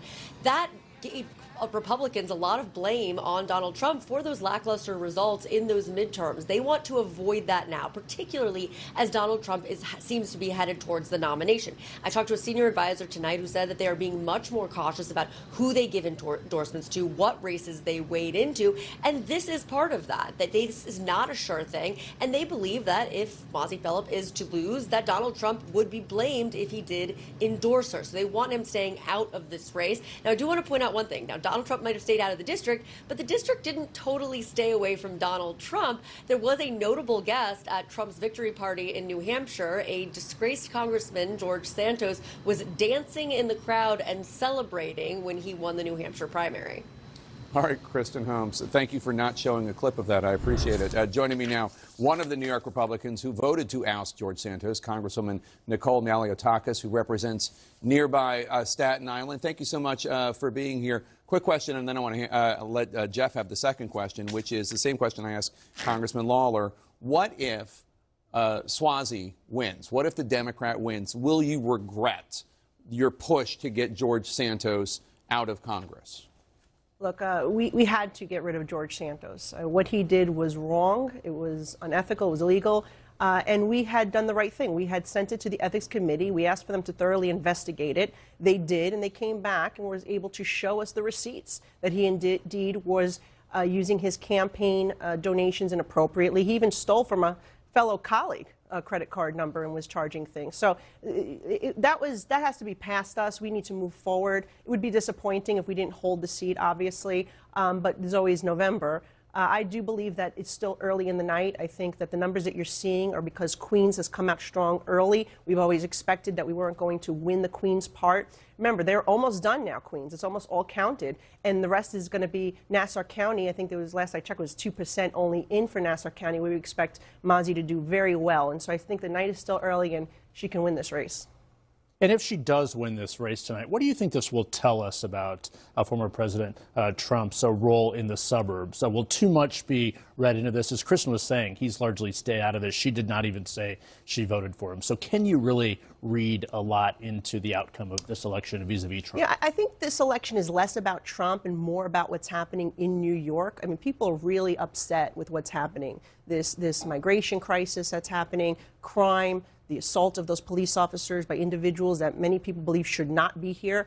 Uh, that's, that is all part of the issue. The fact that New York doesn't cooperate anymore with ICE detainer requests to deport criminals, that's a factor here as well. But I do think that uh, if you look at Nassau County, how it's trended over the last two cycles, Republican. They flipped everything. They flipped everything from the county executive to the county district attorney to the county legislature and won a bunch of those local little town supervisor seats as well. So I think that's telling that Nassau County is trending very much Republican. How about those other key New York races, though? Is he still a drag on the uh, ticket in the fall or too soon to say?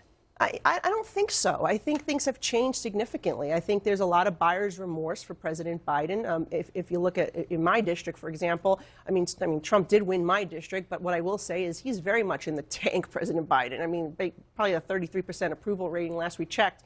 Uh, and that is not good, I think, overall. And I think a lot of things have changed, right? President Biden has had the opportunity to govern, and I think there's a lot of people in these districts that are not happy. They're paying more in terms of food costs. They're seeing the, the border crisis continue. It's now come to New York. Uh, they're still upset with crime and the bail law that the governor put in place, where she almost lost last year. So I think there's a lot of things that are happening locally, which is why New York trended different than a lot of other parts in the country, where we won a lot of seats in New York, where we were losing in other seats that we thought it was going to be a red wave, and we didn't win those areas. Yeah, no, that's very true, Congresswoman. But you, of course, are talking about a lot of the issues that are driving voters in New York. Uh, mm-hmm. You live there, and you've been watching what's happening in New York 3. But talk about it vis-a-vis what you do here in Washington mm-hmm. and how is there anything that you see trending there besides immigration that gives you pause as a Republican in a very, very narrow majority? Well, look, I think right now what you're seeing, we have that narrow majority, and the Senate obviously is, is split. Uh, so everything that you're seeing happening, whether it's avoiding the default, whether it's uh, avoiding the shutdowns, whether it's making sure that we pass the NDAA, which we did, now we're going to go on to FISA and some other stuff. It's all going to be done in a bipartisan manner. I mean, the bottom line is you're going to see, as you've been seeing this year, far right, far left vote against these things, and the vast majority of the middle, over 300 members, vote for these things. And so you're going to see, I think, more bipartisanship actually as a result when it comes to getting these things done. Like just like the tax plan that we passed last week that expanded the child tax credit, that uh, reinstated some of those winning provisions for the economy for our, our small businesses rely on, uh, the R&D tax credit and those things. Those, that was done in a bipartisan way, bicameral, right? So I think anything you're going to see for the remainder of the year has to be in a bipartisan way. salt. Well, salt's, uh, we're taking a vote tomorrow on the rule. We'll see. But I think 2025 is the year for salt. It's not going to pass. okay. I, I think there is a problem there. But 2025 is the year where the salt provision expires. And I think that's where the New York members are going to have their most leverage uh, to get something done for our constituents. Salt, of course, a reference to state and local taxes. It's a thing that We'll go into that later. Congresswoman Malliotakis, thank you so much for stopping by. Thank really you. appreciate it. As more votes come in, how are the candidates feeling about the race right now? We're going to check in with the campaigns and stand by for more numbers on this suspenseful special election night. That's all ahead.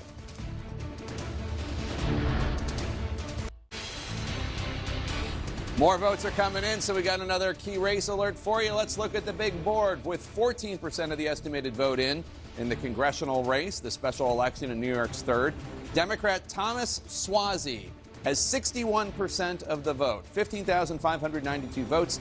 That is 5,615 votes ahead of Republican Mazi Pilip, who has 39% of the vote. I will remind you, it is early yet. It's only 14% of the vote, and we did expect Democratic votes to come in more heavily early on. Let's check in with John Berman now. He has now moved to the Nassau County Board of Elections in Mineola, New York. John, uh, what is happening in Mineola?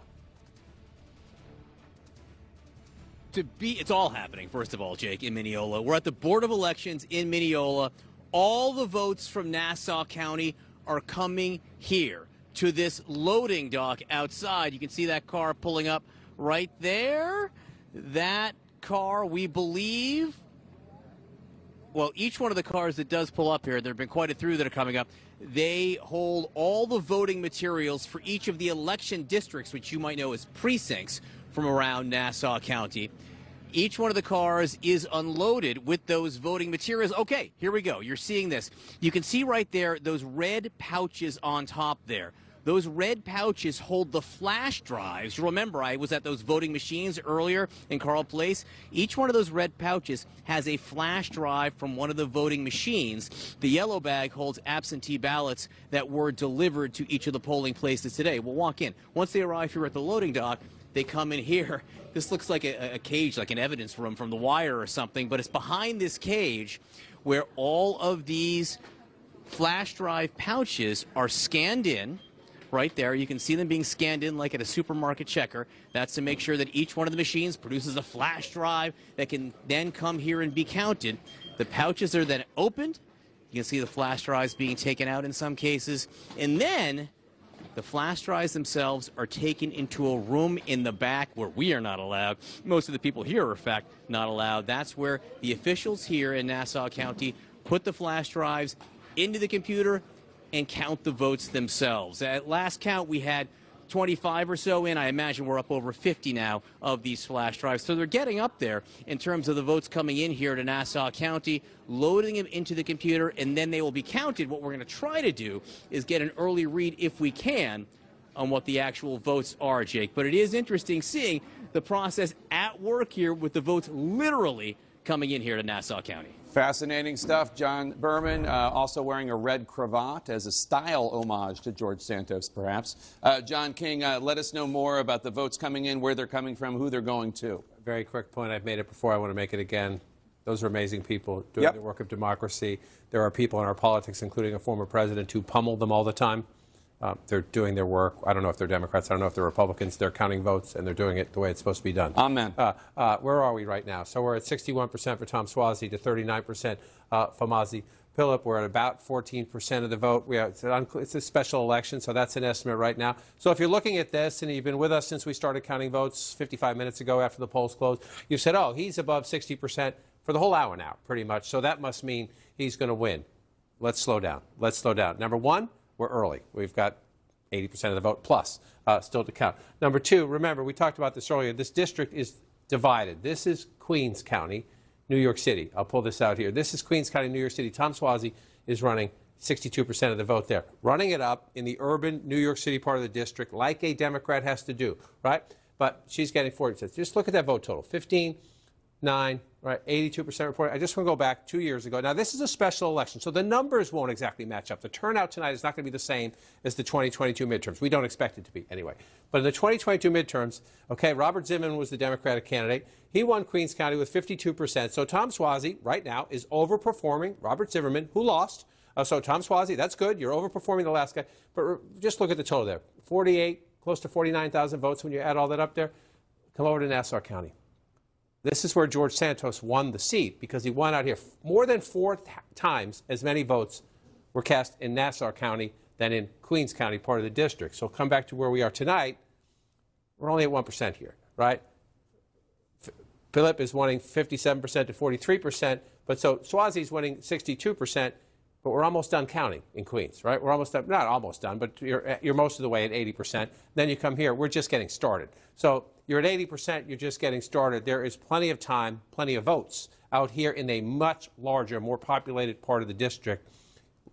two years ago, four times as many votes cast yeah. in this part of the district. Right now, we only have 1,000 votes and some change. So can you go back to Queens County for one second? Okay, so 82% of the vote in, and it's roughly 24,000, 25,000 votes. So we expect it's going to be a little bit over 30,000 votes uh, will be from Queens County. Right. And we think, based on what John Berman told us earlier, that about 160,000 people voted. Right. So it really the question is just what that huge chunk, how many of them voted, and, and they're all in Nassau County. Yeah, they would be in Nassau. Again, in the 2022 midterm election, more than four times, not quite five times as many, more than four, but well in excess of four times more votes cast here than here. So the question is, does that hold true tonight? If it does, and she stays at, you know, again, this is 1,000 votes and change. So she's at 57%. If she stays at 57% and all those, there's enough votes out there, well, guess what? She's going to come back and pass. I'm not saying that's going to happen. I'm just saying that because we are so early in the count, and, and, John just showed where he was. He's in Mineola, which is right down in here.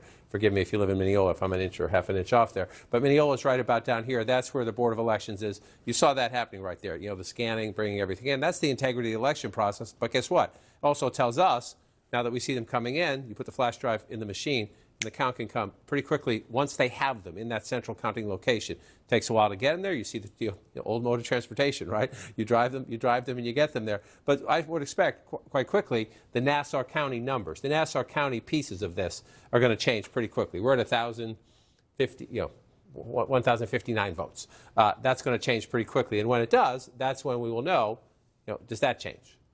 Yeah. What else can you tell me about this congressional district? Can you tell me who they voted for for president in 2020 and 2016? I know the congressional districts changed. The districts changed, and, and, especially the New York City maps have changed. But we can go back in time to the degree that we can. I mean, if you come back to 2020 in this district, uh, Joe Biden, well, you have to come in and carry, look at the district. Nassau, we can do it by county. The congressional district, well, I can probably find the CDs if I can.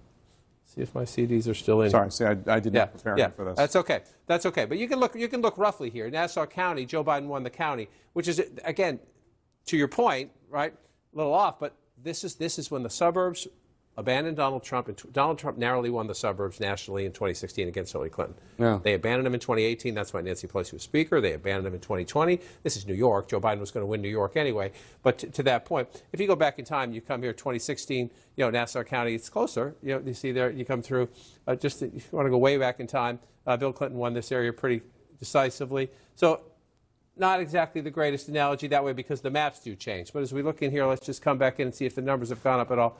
We are stuck right here still, 61 to 39 in the race right now. But a very important point most of the vote is from the Queens part of the district, very little of the vote from the much more Republican suburban area. Jake, hopefully we get more count just in the minutes ahead. All right, John King. And if you're just joining us, we are covering the special election to fill the House seat previously held by ousted Republican George Santos. And right now, we have another key race alert for you. Let's look at the big board here with 14% of the estimated vote in. Cong former Congressman Tom Suozzi, the Democrat, has 61% of the vote to the Republicans' 39%.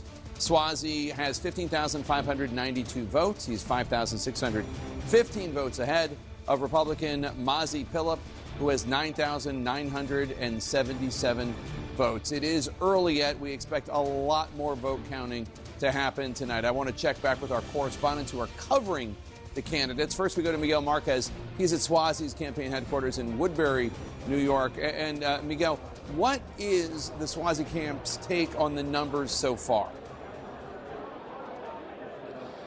Utter confidence. I want to show you this room right now and how it has just filled up.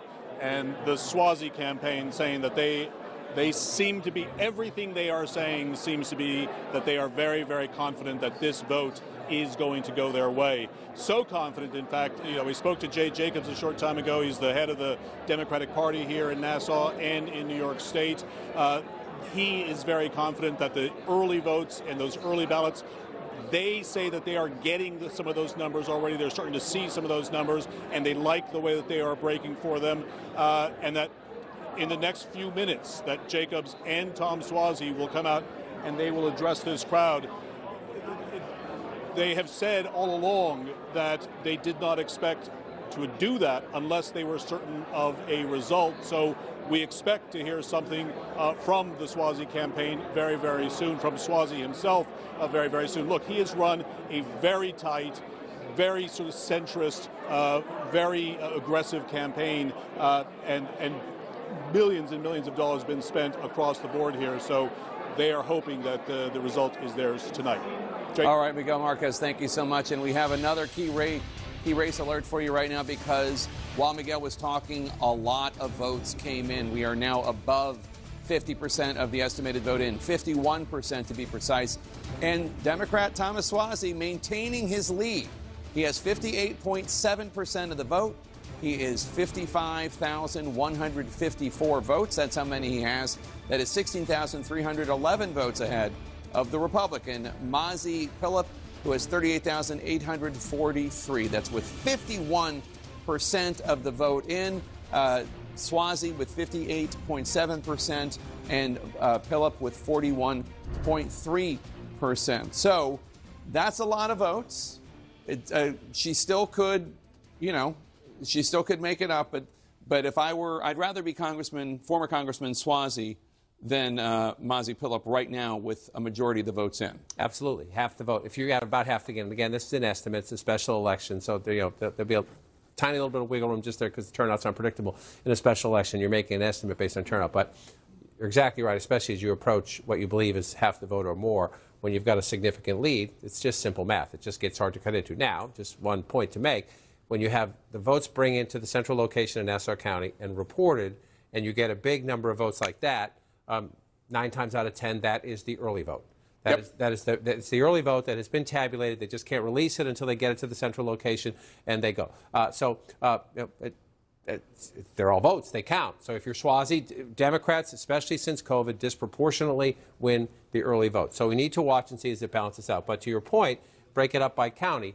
Uh, now we have a significant amount of votes. Remember, just moments ago when we only had a thousand and change, uh, the Republican candidate was winning in Nassau County. If it stays this way, and Sw- if if Nassau County stays blue, Suozzi wins the election because we know Queens is going to stay blue. Uh, so if Nassau also stays blue, this is where you'll have much more of the votes, perhaps as many as four times as many votes here cast here. So if Suozzi keeps Nassau, the Nassau County part of the district blue, just you know, you don't need to know the math. This is probably, as you note, though, mostly early vote, right? Which they about 80,000 out of the 160,000 were early, and we know that generally speaking, most of those were Democratic voters. So this is not a surprise, but this margin is really surprising. That, that, that is the key point. So, on the one hand, you're a Republican, you say this is the early vote, it's going to the Democrat. That's okay. We'll get it back with the election day vote. Okay, you can, but you're exactly right. You're, so oh, you, you, can, you can get it back, but that means you have to beat that. That means in the election, you know, if that's, if that's the early vote, you know, on the election day vote, you got to beat, you got to get 58% or more. Um, that's a big number, right? That's a big number. And if, you know, so yes, this tend, the early vote does tend to be disproportionately Democratic, but in the end, it's still math. Uh, and you've opened, you know, those votes all count, and you've opened up that lead. So now we need to see as you go from there. We believe, we believe, this is up, we say 82% of the estimated vote. Uh, we believe we're pretty close to done for the night in Queens, too. So we don't expect the Queens part of the district, we don't expect more votes to come in. We think we're close. So this is, this, this is the game now. As the votes come in in Nassau County, we think we're around 45%. These came in pretty quickly, as we saw with John Berman on the scene there, the flash drives, the disks, the backup material showing up there. So we, watch as this continues. Come out to the full district. There's your math. 59, 41. Uh, if you're Suozzi, you're happy, but you want to see, you want, you want to know from your people on the scene, Jake, in some of these key precincts that, okay, now we're seeing election day votes. Yeah. Uh, if you keep that lead or you, you only lose a little bit of that percentage as you see more election day votes, that's when you start getting more confidence. So let's find out where this big amount of vote, this vote dump as they call it, uh, just came in from. We actually have a correspondent slash anchor at the site of the Nassau County Election Board in Mineola, uh, New York. John Berman, we just saw the vote count go from something like 16% to 51%. Where did those votes come from? Were they early votes? Tell us more. Um, yes, yes. Almost all of what you're seeing right now is the early vote and mail in from Nassau County. That was what was just posted. We had someone run out and tell us we just put it up on the website. Unfortunately, I can't see the website, Jake, so I actually don't know what the numbers say. All I know is they just posted the early vote and the mail in. So that is the batch you're looking at now. They already had that here.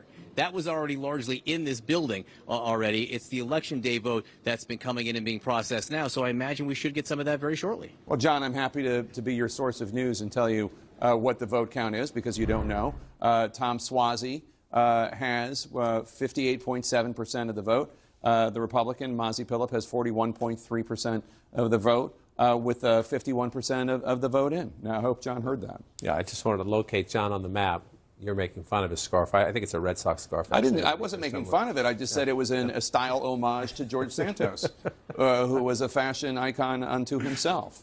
Um, so, in any case, John Berman has been a fashion icon since before George Santos. I'm sorry. that's true. Weather That's- today, that's I'm true. appropriately dressed for the story. I, I agree, and you look lovely. So, in any case, did you expect uh, this vote count at 51%? Because the polls, by the way, have been neck and neck within the margin of error throughout the entire special election. Obviously, we did not know who was actually going to turn out. It's so difficult to poll for who is going to turn out, who's a likely voter in a special election. And then, of course, there was this snowstorm that rolled through Nassau County this morning. Uh, and there were other things as well. There was, the, as you were talking in the interviews with the congressman and the congresswoman earlier, there was the idea that the Senate was maybe going to pass. Uh, they might even do an immigration package. Then the Republicans would, they couldn't reach a Republican agreement on that, uh, and they, the, the, Ukraine debate and the Israel debate, and Donald Trump reemerging, and, and you know whether it's his comments about NATO or anything else, but Donald Trump reemerging. So a number of things have happened that make an unpredictable special election even more unpredictable. I would argue, in the sense that Democrats started started this election on defense on immigration.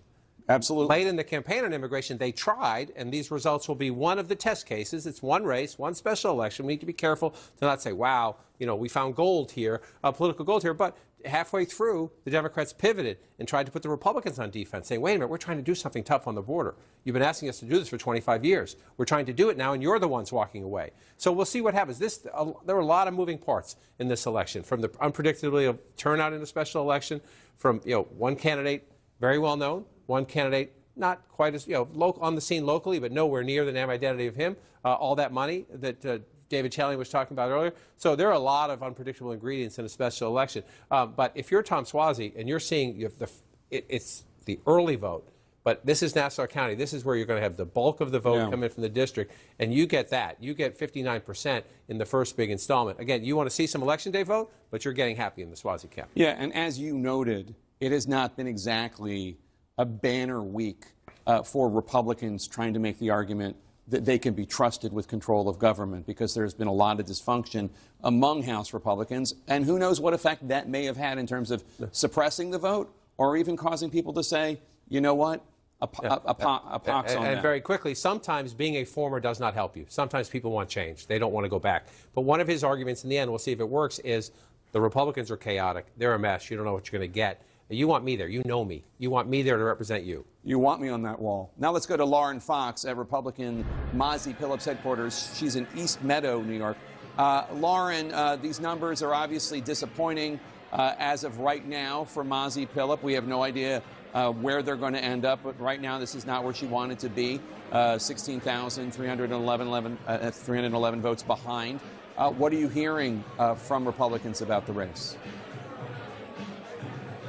Yeah, there are two men in this room for whom this race tonight is really important because they are up for re-election in November. I'm talking about Congressman LaLota, Congressman D'Esposito. I just spoke with both of them about what this race, if Mazi Pilip loses, could mean for them. And, you know, LaLota said and acknowledge the reality that this race tonight, even though it's a special election, even though it's February, even though there was a snowstorm, there are always lessons to be learned when you're looking for trend lines ahead of November and you're hoping to hold on to what is a swing district for yourself as well. Obviously, I talked to two voters today who voted for Donald Trump in 2016, turned around and voted for the Democrats in this race voted for Tom Suozzi because they said his message on bipartisanship and the fact that House Republicans have really struggled to pass legislation over the last couple of weeks impacted the way they were looking at this race. And if you're a Democrat running in these swing districts, running in a suburban district, that's the kind of message, that's the kind of playbook that you want to emulate in November. So obviously, both parties are going to be looking for lessons learned. Yes, it's a special election, but two Republicans in this room tonight are going to be waiting very closely to see what this result is finally because they're worried about what it could mean for them in November. All right, Lauren Fox at Pilip headquarters in New York. Thank you so much. And Anderson, as John and I were just discussing, uh, and anecdotally, uh, Lauren talked to two Republican or two Trump voters who went for Suozzi. Uh, and one of the reasons, at least according to, to what Lauren just reported, was the fact that Republicans in recent days have not exactly been showing that they know how to govern. In fact, I think uh, this Congress is the least productive Congress uh, since the Great Depression, if memory serves. Anderson? Yeah, uh, definitely having an impact on voters. Uh, back with the team here in New York. David Chalian, I mean, if this does go for the Democrat, and we're expecting to hear from uh, from uh, any moment, really, um, Does it send a message? I mean, there was a snowstorm. Republicans generally vote on election day. I mean, does one read too much into it, or Well, I definitely think there's danger of reading too much into it, but we'll do that nonetheless. But I, I, in the immediate term, in the immediate term, Anderson, if Suozzi ends up victorious tonight, the math in the House changes. So uh, this is, this would be a flip from a Republican-held seat prior to the expulsion of Santos to a Democratic seat, and that's going to make Speaker Johnson's math that much more complicated. Like, for instance, if indeed that happens, there are still three vacancies. If everyone shows up for a vote, Johnson's only going to be able to lose two Republicans uh, on any given issue if he needs all the Republicans to vote for it instead of three. That's a big. That's a big deal. You, there's no margin for error. So that's one. But in terms of the for the looking towards the fall, the thing about this district is this is New York. These New York districts are what delivered the majority to the Republicans in the House of Representatives. And it is precisely the kind of district that Democrats need to win back if they are to win control of the House of Representatives in November. And so, yes, there are specific circumstances here. I think the immigration issue is probably more acute here in the New York media market than it is in some of these other districts.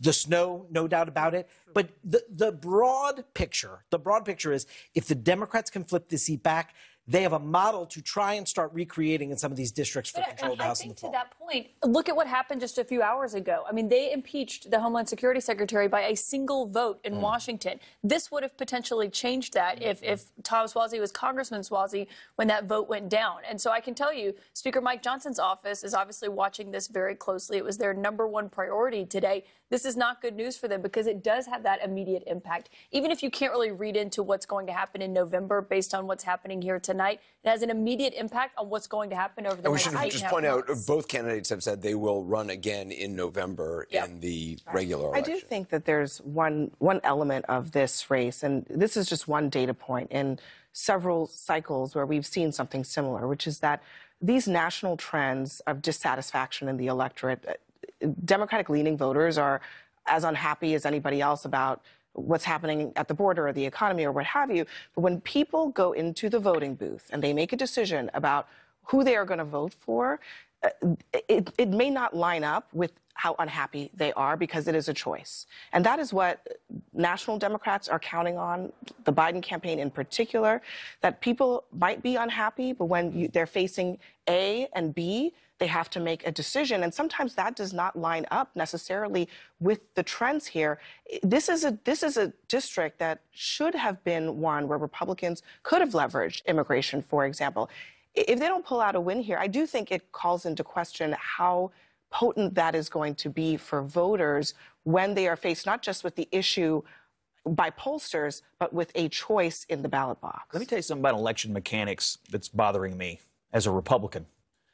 Voting early, voting by mail, ballot harvesting, getting your votes in. It looks to me like the Democrats here crushed in the early voting in Nassau, Mm-hmm. where the Republicans had to do well.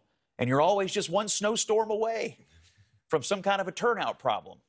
And so the Democrats are going to win this. It looks like we haven't called it yet, but it looks like you know they're they're on their way. And a big part of it is the Republican Party remains resistant to getting votes in the bank. Gosh, who who could who have? could have possibly it's given the Republicans the idea that it's not a good You've idea? got to vote. I'm just let me. do- You've got to vote. Put get your vote in. That's all I'm saying. Vote whenever you can. Who, who, who could have given you such a stupid strategy? I'm just trying to think to myself is there someone who's just a perpetual loser, who loses over and over again, who also has a losing strategy when it comes to not voting early? Do you have, sir, any idea who might have We given got it. We got it. I, But if I may, I meant, what I said at the outset was, you know, it's like two teams and who shows up on game day, right? And early voting is part of that process. And I think there's a, uh, a tendency to overemphasize a congressional race as if, as if it's a national referendum all the time. And the reality is, my experience has been people in, who live in Nassau County or Queens want to know is this person going to do the best job for me? going forward. Uh, you can ma- nationalize it all you want, but that's how they act. Now, I will say this, and what was telling um, that you can distinguish between the Siena poll that came out last week uh, among independents in the district that President Biden won are actually voting for Donald Trump. And head to head in that Siena poll, Donald Trump beats President Biden by six points. So I think you can distinguish But- but- between. But why'd you guys get beat? What's that? Why'd you get beat tonight?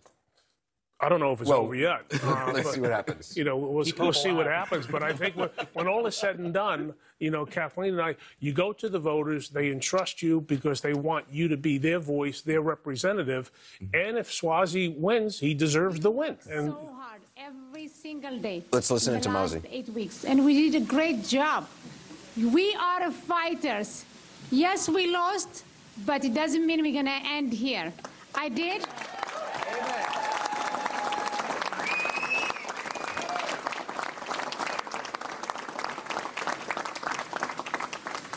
I did call my opponent. I congratulated him. And uh, I love you. You guys are great, amazing. I'm so proud to be part of this amazing organization, the Republican Party. Really, real leaders. And I want to thank Chairman Cairo for his hard work. Chairman!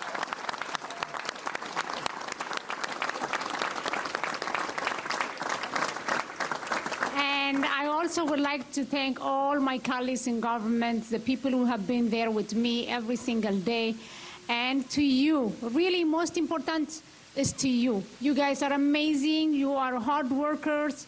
You love this country. So let's keep it up, and we're going to continue to fight because we are not going to give up. We're going to bring common sense government. I promise you. Thank you. God bless you. God bless America.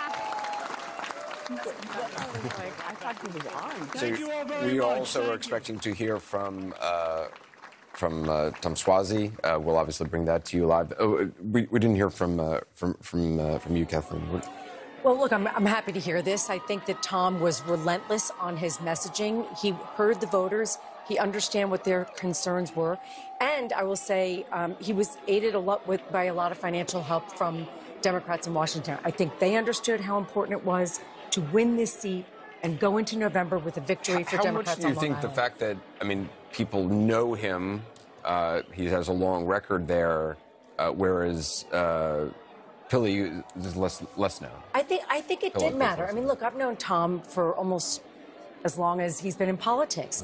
People know him. You have Republicans and independents who are used to voting for him. Um, they've done it as county executive when he was mayor, and certainly now we know because independents had to majorly break his way in order for him to win tonight.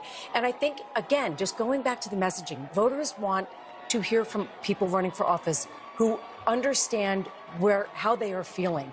And even though Tom, you know, was speaking not a very progressive message on Long Island, um, it was a message that worked because it resonated with voters. And I think that kind of The si- the size relentlessness was look, important. Look, our, our party is a broad party. It's a big tent. We, Yes. we don't all march down the same little road the way that Trump is marching his Republicans down the same road. And so you're going to have Democrats that can Yes, punch you absolutely. out on There's more that immigration. and just happened tonight. I think, I think the familiarity of a de facto incumbent here may have mattered a lot because this district just tried something crazy, basically, and it blew up in, in the Which was the Republicans' message that Suozzi tried to push, which Yeah. is like sh- that, that she is is uh, Santos 2.0, Yeah, which seems we- a little un- Yeah, we, unfair. we tried this thing that, that was sort of crazy. Let's Well, just go back to so, What's crazy about it? about. s- we tried something. Let's go back to something that we know was okay and not not not out not not Vito, not, you- not, not in the rough, still in the I, fairway. I happen, I happen to, if, if, if victorious, I, I think that's the deciding factor. I think he's more seasoned as a as a candidate. That makes a, a difference. It, it came across. Uh, I think there's a familiarity, a reliability. Uh, they didn't want to take a chance, Mm-hmm. and he, he ran a good Also, he campaign. you got to give the guy credit for it. He was out there so much more than she was. She did very few interviews or appearances. She only agreed to one debate that was not until uh, the end of this. And so I think that was also part of it. But the other interesting thing that I, I'm curious about how the White House is watching it is he distanced himself from President Biden. He Hmm. disagreed with him on the border. President Biden didn't come campaign. Yeah, and she him. didn't embrace uh, Trump uh, Until the either. end. Uh, let's go back to Jake. Jake? All right, Anderson, and guess what? We can now make an important projection. CNN projects that the Democrat, Tom Suozzi, the former member of the House, will win the special election in New York's 3rd Congressional District. The Democrats are picking up the House seat previously held by ousted Republican George Santos. Suozzi defeating his Republican opponent, Mazi Pilip, and now set to return to the House where he previously served. This is a big and critical victory for Democrats that shrinks the Republicans' already slim majority in the House. Uh, with Suozzi's win, Democrats will have 213 House seats compared to 219 for Republicans, with three seats as of right now uh, remaining uh, vacant. Uh, so it's a huge victory uh, for Democrats. And let us go now and check in with our friend Miguel Marquez, who is at campaign headquarters uh, where Suozzi is. I believe he's in Glen Cove, in New York. Uh, and Miguel, the TV hasn't caught up with where we are, but I see they're watching CNN. Uh, they got to be feeling good there. They are feeling incredibly confident here, and the magic of TV you're about to see. In fact, I'm going to let you listen to this right now.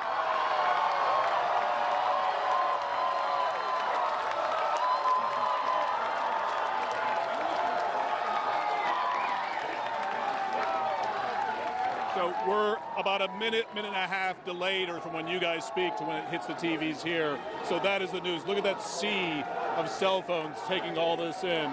We expect Tom Suozzi now to he and Jay Jacobs, the head of the Democratic Party here in New York State, to take the stage in about 15 minutes, is about 10:30, uh, and and he will, you know, he will declare victory in this race. He ran such a a, a focused and uh, intense race. It was a very very short election, uh, less than two months, and he just used his name, you know, his, his, his, not just him, but his father, his uncle, the Suozzi name is known throughout Long Island. He's a long time sort of centrist Democrat. He hasn't always gotten along with the party itself, and that worked in his favor. He ran essentially on Republican issues, on the on immigration, on on the on the border, uh, on crime, and on taxes, and really drove that uh, that message home. The other thing that really worked for him was that sort of ghost of George Santos, though. Despite the fact that many voters didn't want to talk about George Santos, what drove them to the polls in the final days is that they were doing early voting was that anger, that residual anger over George Santos. And we've seen this with, with candidates or, or with members of Congress that leave uh, under, under bad circumstances and then their party gets punished in the next election. And that seems to have played out here tonight. We expect to see uh, what we expected to say is Congressman-elect uh, uh, Tom Suozzi in about five minutes. Jake?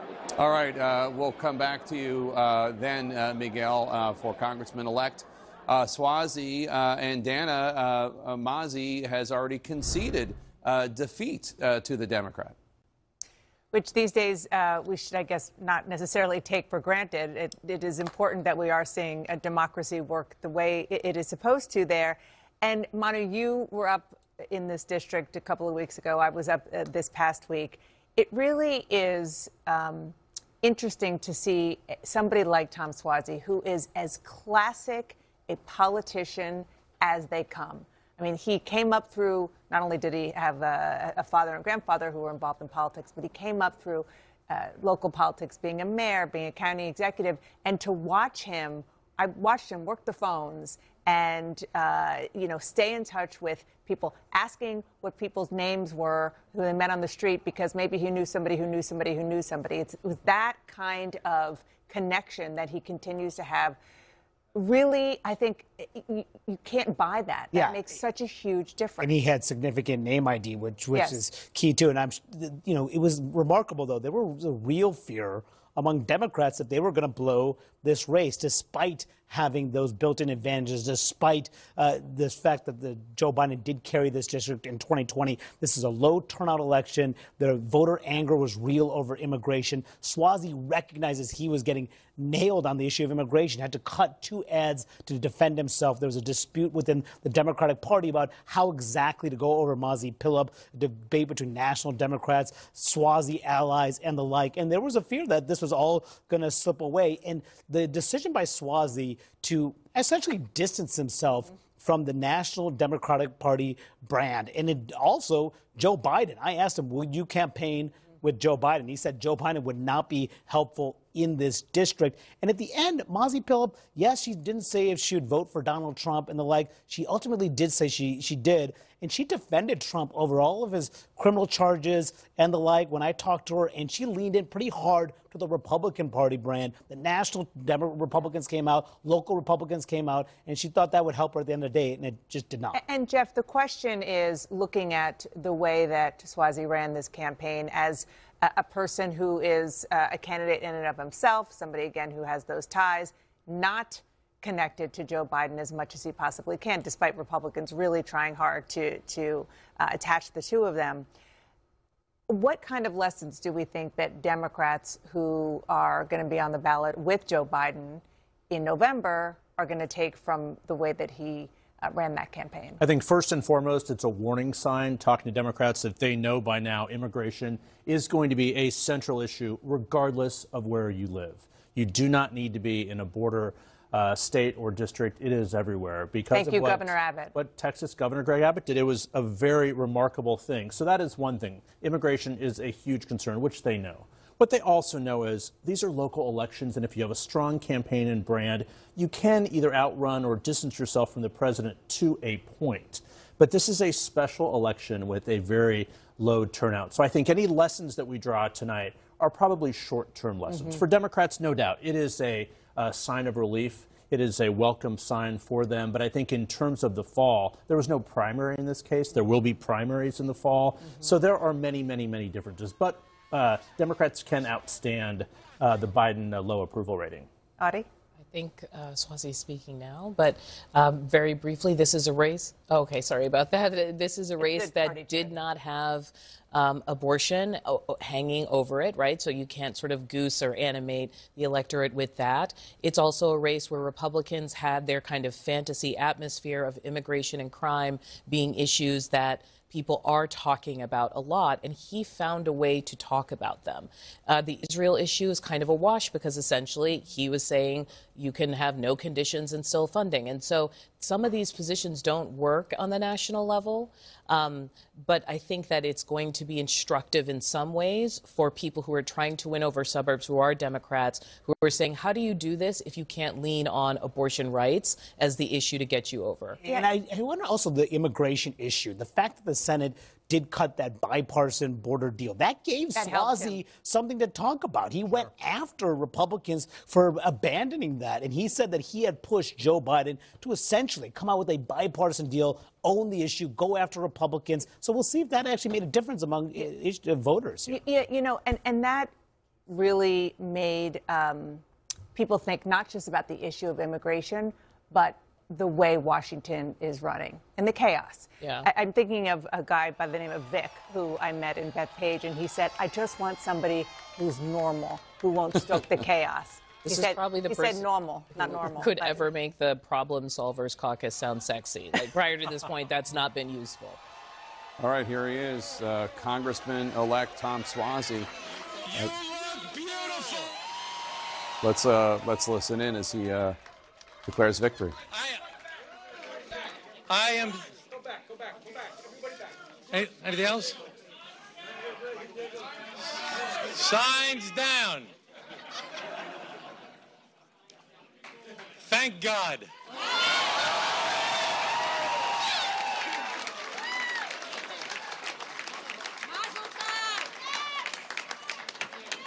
Let me just enjoy this for one more minute, okay?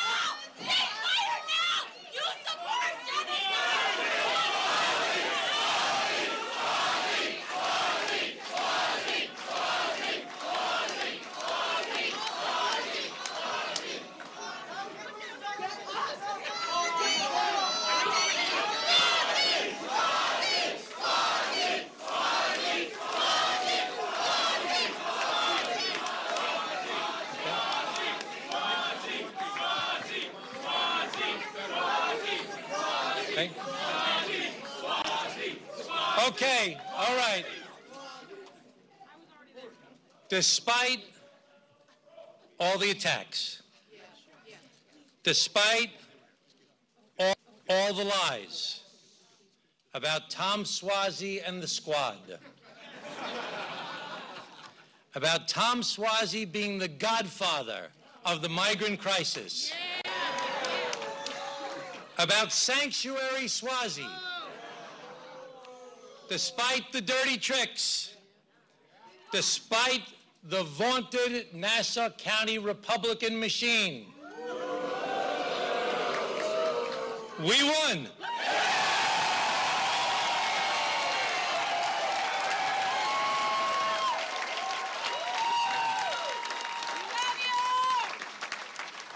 Now we know that this race was fought in a district with a.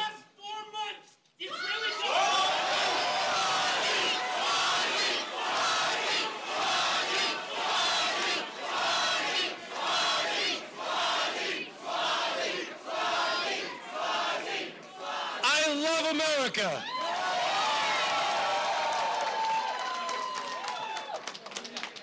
This race was fought amidst a closely divided electorate, much, much like our whole country.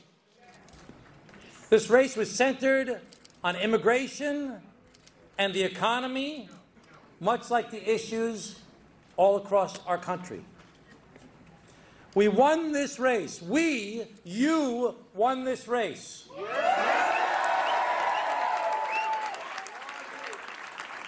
Because we addressed the issues and we found a way to bind our divisions. You know, what we just saw with the, with the protest tonight, okay? There are divisions in our country where people can't even talk to each other. All they can do is yell and scream at each other. And that's not the answer to the problems we face in our country. The answer is to try and bring people of goodwill together to try and find that common ground.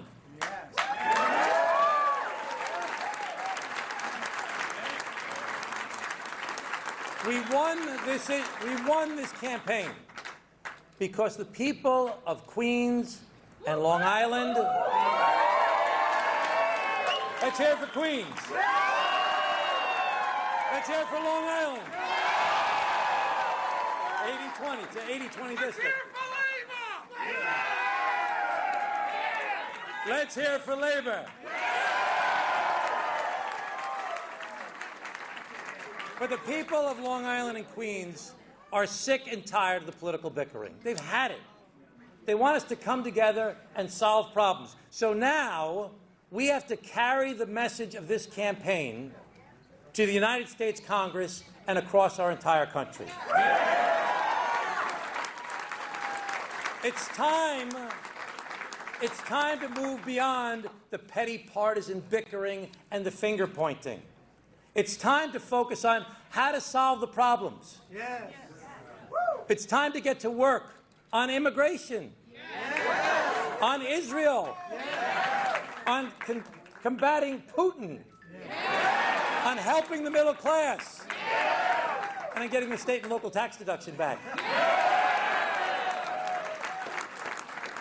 Let's send a message to our friends running the Congress these days. Stop running around for Trump. Start running the country.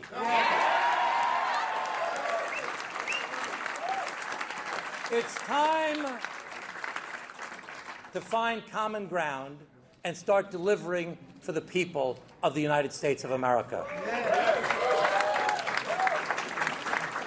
The people are watching. They want us to start working together. So our message is very clear. Either get on board or get out of the way.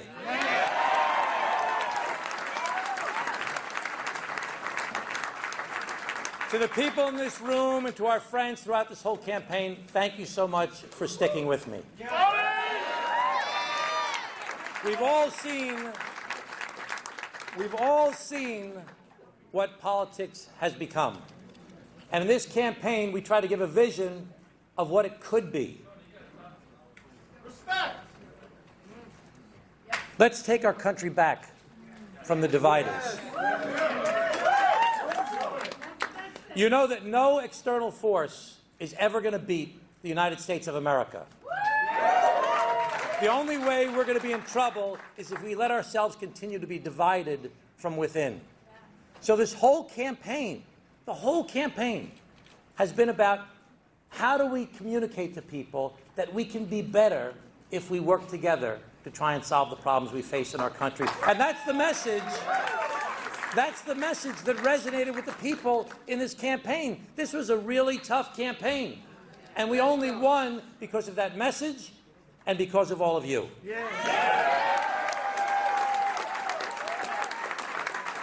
So listen, you want to take the country back from the people who are trying to divide it? Yes. Are you with me in that fight? Yes. Are we going to keep on working until we hold politicians accountable when they just try to use issues for weaponization to try and destroy the other guys instead of actually solving the problems to make people's lives better? That's what we've got to do in this country.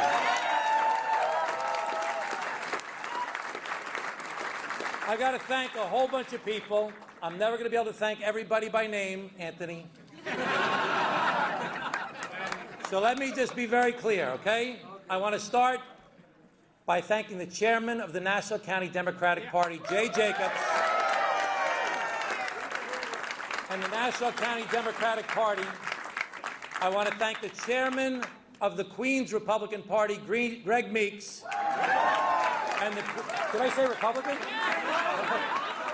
I don't want to thank I don't want to thank the chairman of the Queens Republican Party. I want to thank the chairman of the Queens Democratic Party, Greg Meeks, and the Queens Democratic Party for selecting me as the candidate to run in this race. I am so grateful for this honor. I want to say this is the best campaign I've ever been involved with in my entire life. It's been amazing.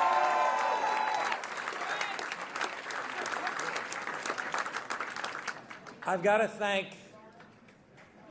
my best friend, the best partner anybody could ever have in their life, who's put up with so much. Let's hear it for Helene Suozzi.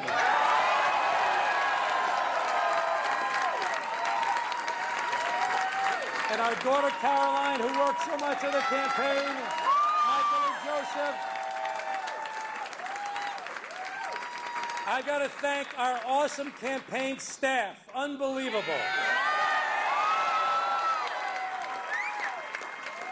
Led by John Gonin, our campaign manager. My advisor for the past 23 years, Kim Devlin. And the great Nick Ryan. I can't go through everybody on the team. You're all fantastic. You're all awesome. I got to th- thank the pe- people on whose backs really carried a large part of this campaign. My friends, the men and women of labor. Yeah! I will always have your back the way you had my back. I am so grateful to all of you. I can't believe how much work everybody did in, from the very beginning to the very end of this campaign up until just a few hours so that's ago. Tom Suozzi, so uh, who has now won uh, this uh, special election. It'll be obviously another election uh, for this same seat uh, in in November. Both candidates had pledged to to uh, to run again. I'm not sure if. Do you think the Republican candidate will, Pilip, will can, will run again? I mean, that's going to be up to the party leadership. Um, I think they'll probably take a deeper look on where the numbers came from, how they did, but. Uh, I mean, she has said that she was going to run, whether she won or lost, but we'll see. If, if, she, if she, had pulled it off, we'd be sitting here talking about how she yeah. was from, from, Central Casting, a woman of color, a former soldier, Israeli, the new face of the Republican Party. So, I mean, there was a reason that she seemed plausible to people. She just got whooped. Now, if they want to find somebody else, but well, it's going to be redi- there's redistricting yeah. in this, which will make it tougher for the Republicans. Tougher for the Republican in this district. Yeah. But I think one really important moment is what we just saw there when he got on stage, Tom Suozzi, to give this acceptance speech. And before he even spoke to the crowd gathered there, a protester protesting the hmm. Israel, the U.S.'s stance toward Israel right now, and a, a believed pro-Palestinian protester got up there, which is something that is happening at basically every single event that you see so many Democrats, mainly President Biden and Vice President Harris, going to right now. It was a key issue in this race. Obviously, you mentioned that she was a former soldier, a former soldier in the IDF.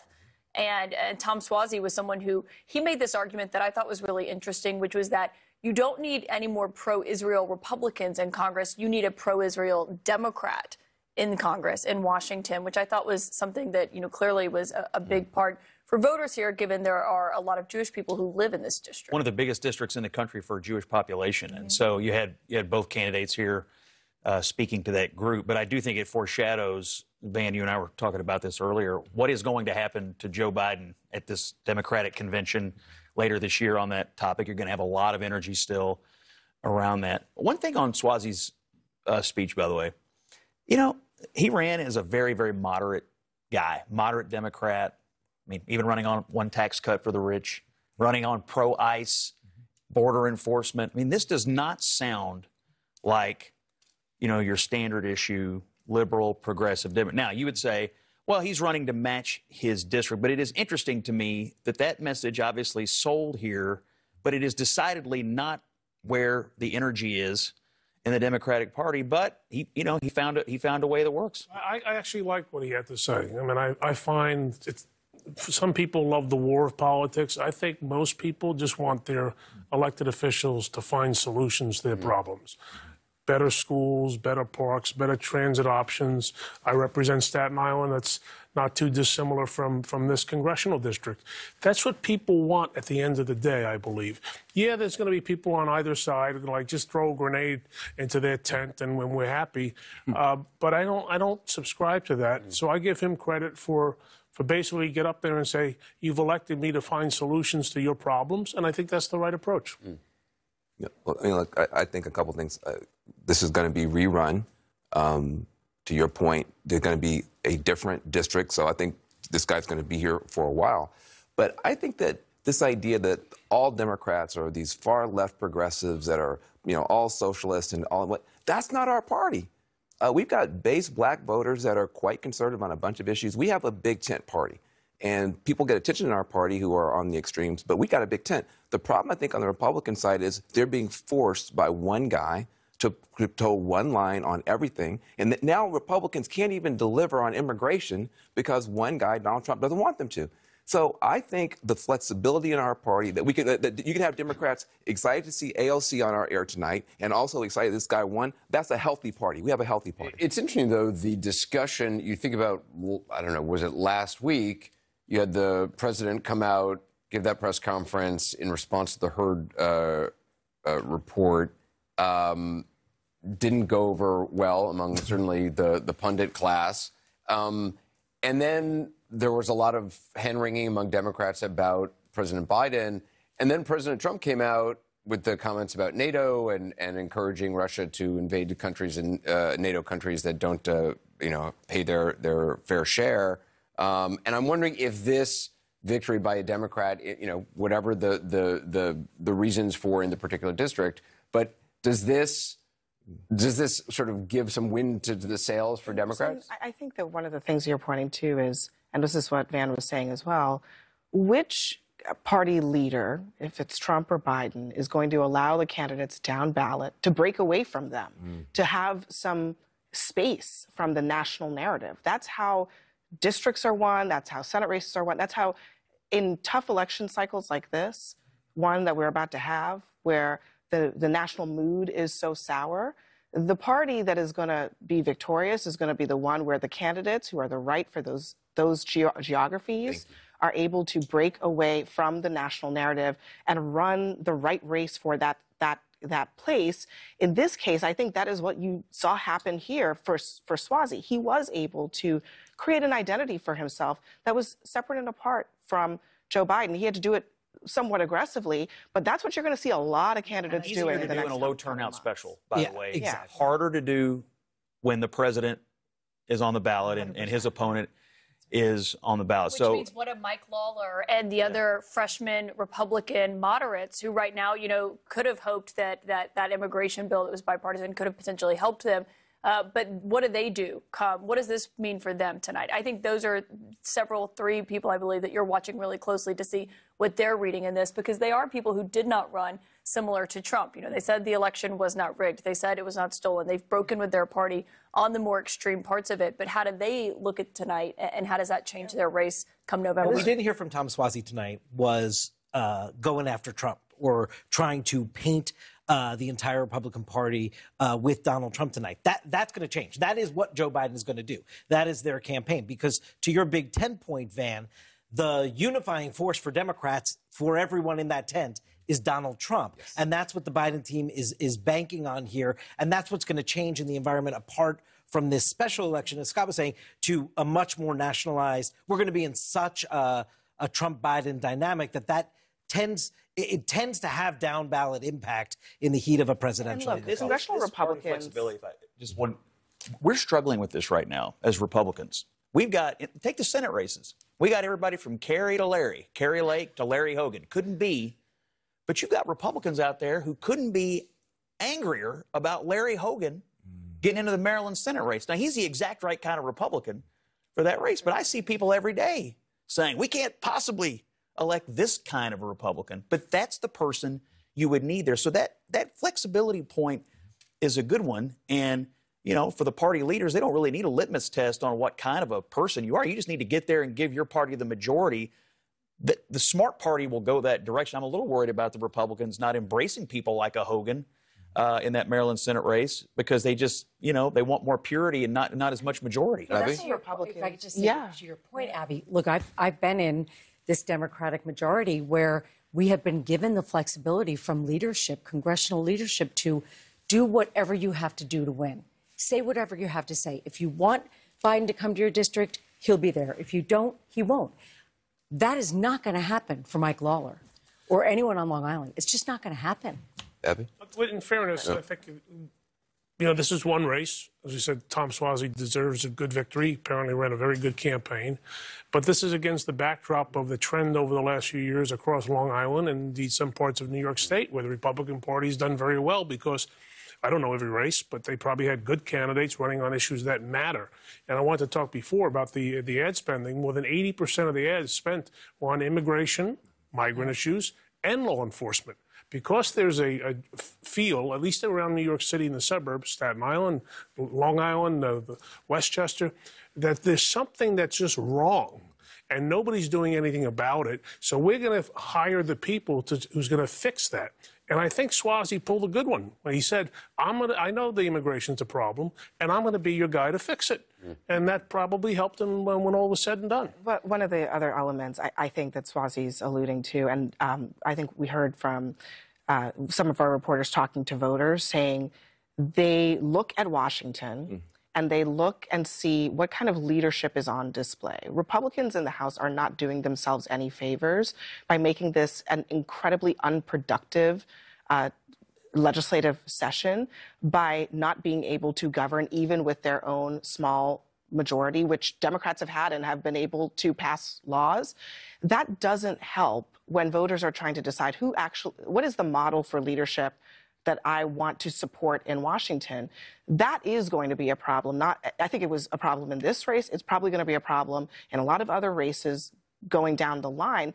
This was their supposed to be their opportunity to show voters how they would lead. And so far, frankly, it's been kind of a disaster from day one when they could not elect a speaker. And Biden's going to tie that dysfunction mm-hmm. to Donald Trump. Yeah. And, and, and that, what they're doing tonight is impeaching the Homeland Security Secretary after they just sunk the bipartisan immigration bill that was negotiated. For, for, for, I mean, not not just not just what are they not what are they impeaching him for, but the impeachment is not going to go anywhere. So it's like, what are what are they what are you, they doing? Least, there are two different kinds of disorder and dysfunction. Um, I think the Republicans have been trying to look at the disorder and dysfunction at the street level and talk about crime and talk about immigration, tie the two together and talk about that. The problem is, in power, they look like the disorder and the dysfunction. What they're doing in D.C. every day looks disordered and dysfunctional. And so I think Democrats are going to start pointing that out. And because they ginned up the issue of immigration. Republicans took, nobody was talking about immigration this time last year, it was all abortion. Republicans successfully took that issue from the margin to the center, dropped the ball, and then lost an election on it. That's where the, that Republican Party is. Well, but, but it dropped, dropped the ball, didn't pass legislation, and then lost an election. But it, but the Democrat did run a pro enforcement campaign. I mean, he was running clips of himself on Fox News We can beat you on that issue, but you And guys so- can't pass legislation. That's what I'm but, saying. But I'm saying not every Democrat's going to going to be able to run as Let's- hard on immigration. Let's go back to Jake in D.C. Jake. Thanks, Anderson. Uh, let's uh, talk about all of this uh, with the panel. And I guess there is this question about how much of the Republican dysfunction that we've seen on Capitol Hill uh, played a, a role. Anecdotally, we've heard from some voters, or, or uh, Lauren Fox from, from some voters, that that played a role. But then there's also just the Trump factor. How much did Donald Trump and his presence uh, play a role in what happened to a, a woman who, you know, a local official who otherwise uh, might have uh, been a very strong candidate. I'm not sure that in this particular case uh, it played a big role. I mean, you were also there. I'd love to know what you think. Uh, certainly, what Democrats tried to do was tie her to uh, to Trump. In fact, there was a bit of a of a kerfuffle between uh, the party and his and Tom Suozzi's campaign because the party, which is uh, the independent expenditure side, the people who put up ads and they're not supposed to coordinate with the campaign or the party, uh, called her a MAGA Republican. And at first, Tom Suozzi and his campaign, they were not that happy about that because they really wanted to um, not scare off the MAGA Republicans. Right. Yeah, because they thought some of them would actually vote for him. So it, it wasn't as big of a factor because she wouldn't really talk about Donald Trump as much as other Republicans are eager to because of where she was. Yeah, no question about it. And yeah, that was that was an interesting dynamic because they were worried about giving her credence with the MAGA base, Exactly. juicing the MAGA turnout because they try they didn't really know who she was and trying to define her as someone who is hiding from her views. That's how Suozzi wanted to label her. But it was just the way that Suozzi was able to manage the the toxicity that he would frankly acknowledge that the toxicity of the Democratic brand and try to pivot around that. That will be a learning uh, something that uh, a playbook that will be replicated by Democrats in these swing districts time and again and to take on issues like immigration head on. I mean the 20 this reminds me of the 2020 uh, elections in which Democrats lost in a lot of these key races because they did not take on the issue of crime. They got hit on the issues of defunding the police.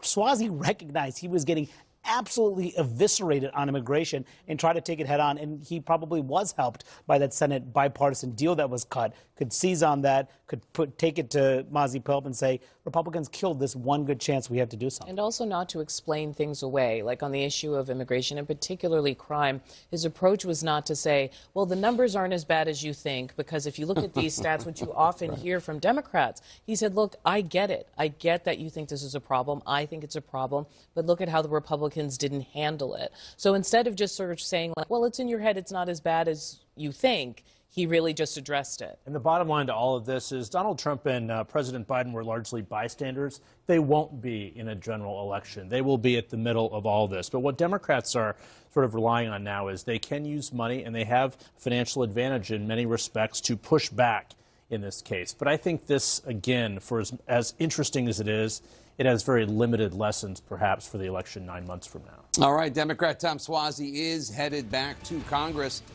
CNN projecting that he will defeat Republican Mazi Pilip in the race to replace ousted Congressman George Santos. A big blow for House Republican leadership dealing with an already razor thin GOP majority. Our coverage continues in just a moment. Back after this.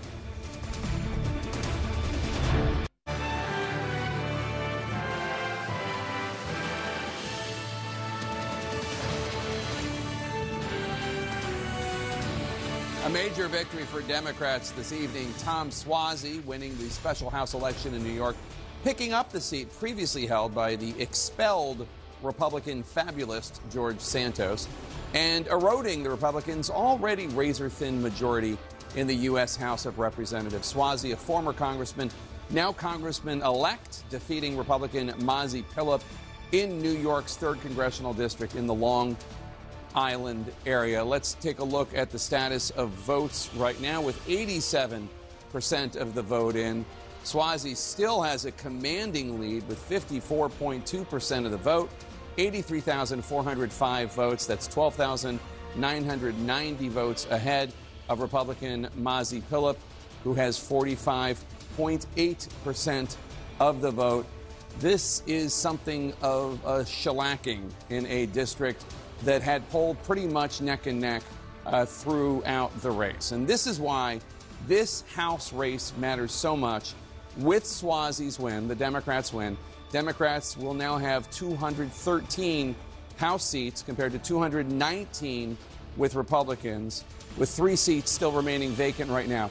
So that means Republicans now face an even tougher path to push through legislation as the 2024 election year unfolds. With that six, feet, six vote majority, they can only afford to lose three Republican votes in any one vote. Let's go to Miguel Marquez, who is at Suozzi campaign headquarters in Woodbury, uh, New York. And, and, and Miguel, a huge win for Suozzi and Democrats this evening.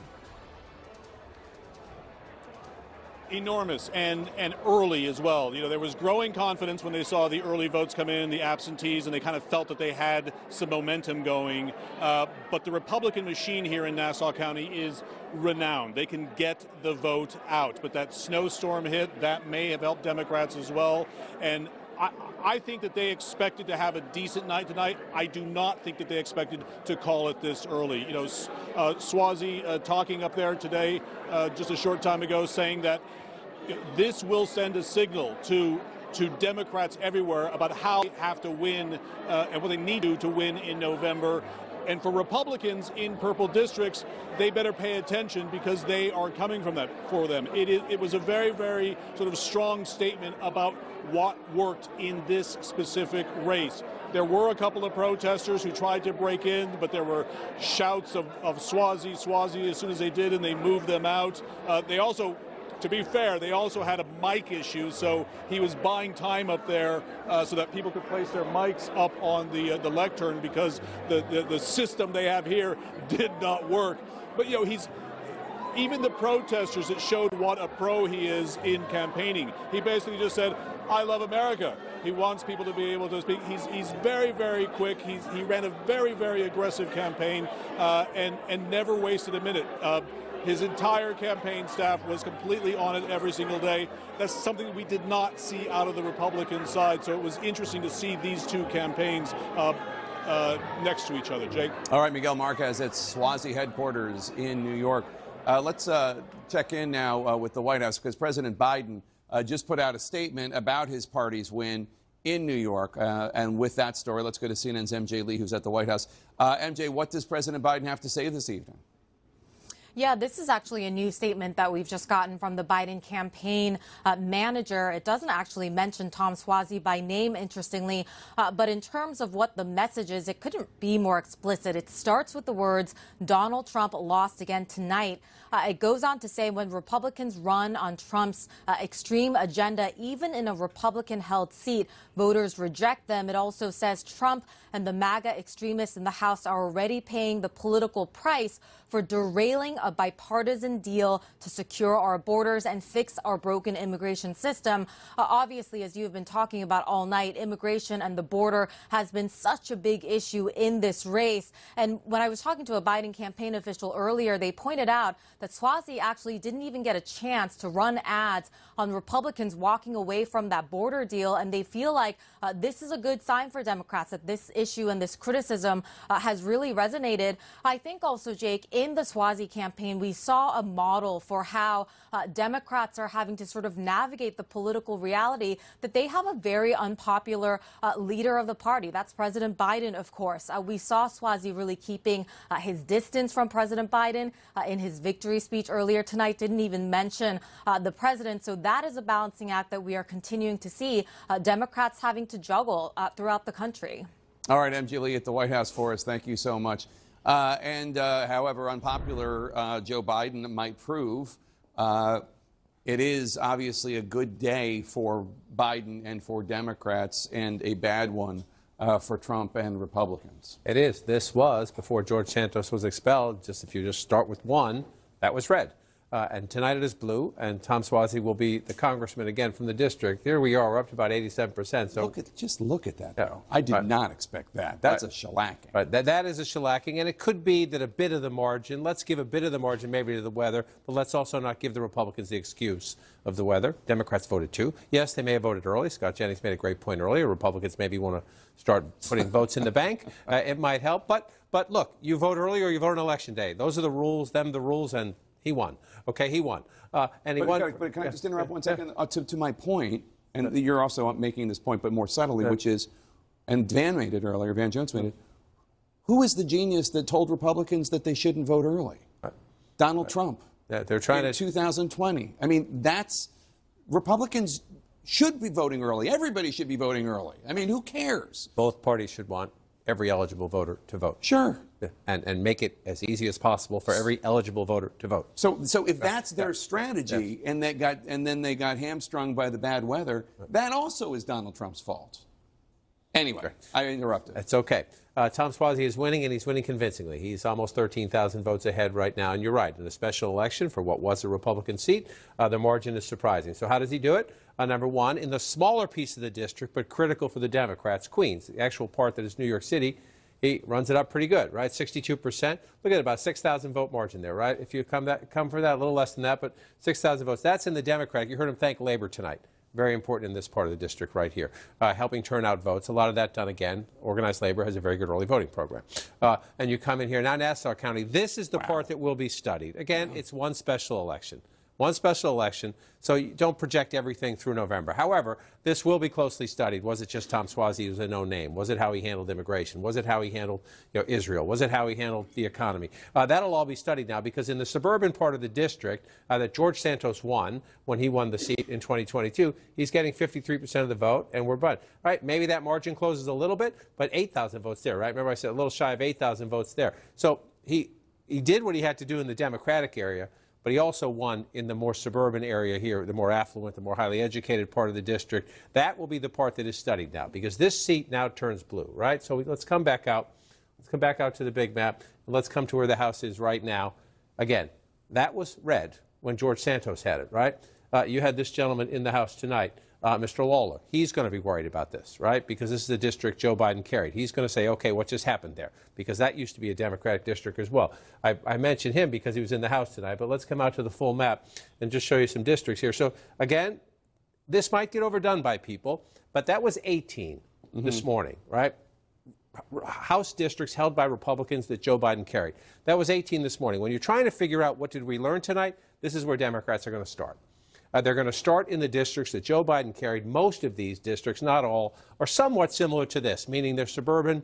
They tend to be more higher educated, more, more affluent than the national averages. So the Democrats are going to look at these, saying if we want to win back the House majority, there's your building blocks. Doesn't mean because Suozzi won that the Democrats win these seats, but that's what we're going to set. So this is the challenge as you look ahead to November. Yeah. Can we get good candidates like Suozzi to run in these races, right? And so here, but here to me is the most important thing tomorrow or next week when Suozzi comes down and gets sworn in. Uh, remember, the House Republicans impeached the Homeland Security Secretary by one vote, right? Their majority has now shrunk. It's only by one vote, but in a very narrow majority. Abby was making the point earlier. Nancy Pelosi had a narrow majority. She was able to get quite a bit done. Uh, a succession, Kevin McCarthy, now Speaker Johnson, have a narrow majority. They haven't done all that much. Guess what? It's about to be smaller. So I remember when Nancy Pelosi first got elected uh, Speaker of the House in, I think, 2006, right? During the Bush years. One of the reasons she was able to win the House back from the Republicans is a bunch of moderate to conservative Democrats that she called the majority makers. You heard AOC earlier tonight talk about how there need to be people who disagree uh, within the Democratic Party so that they can get the majority. She said that's, I said, you know, what about a guy like Suozzi who doesn't even want Biden to campaign? She's like, the most important thing is that we get the majority. So here's my question. Suozzi was obviously given some rope to be independent, you know, to give some, some leeway to be independent, to badmouth Biden, to, to distance himself from other Democrats. Are Republicans who are the majority makers for the majority right now, are they able to do that? Are Congressman Lawler, are the uh, LaLota and other Republicans who represent Biden districts, Are they allowed to be independent or are they forced to stay in line so that Donald Trump doesn't start attacking them? You just answered your question. I did. Yes. Yeah, will, would Speaker Johnson have the smarts to go into a room and say, I understand, Mike Lawler, you're not from Louisiana like me. You have to run a different campaign. You might even have to say, I disagree with the Speaker. Speaker Johnson is smart enough to say, do it. Do what you need to do to win. Kevin McCarthy was smart enough to say, for all the criticism of Kevin McCarthy, they weren't terribly great at the governing part. Um, but in terms of the political part, however, you answered your own question. Donald Trump won't give them the right. way. And so, Donald Trump, so you're going to, you know, does Mazi Pilip run again? Does, do the, does the Nassau County Republican Party think we need somebody else in November? They, they picked her to run this.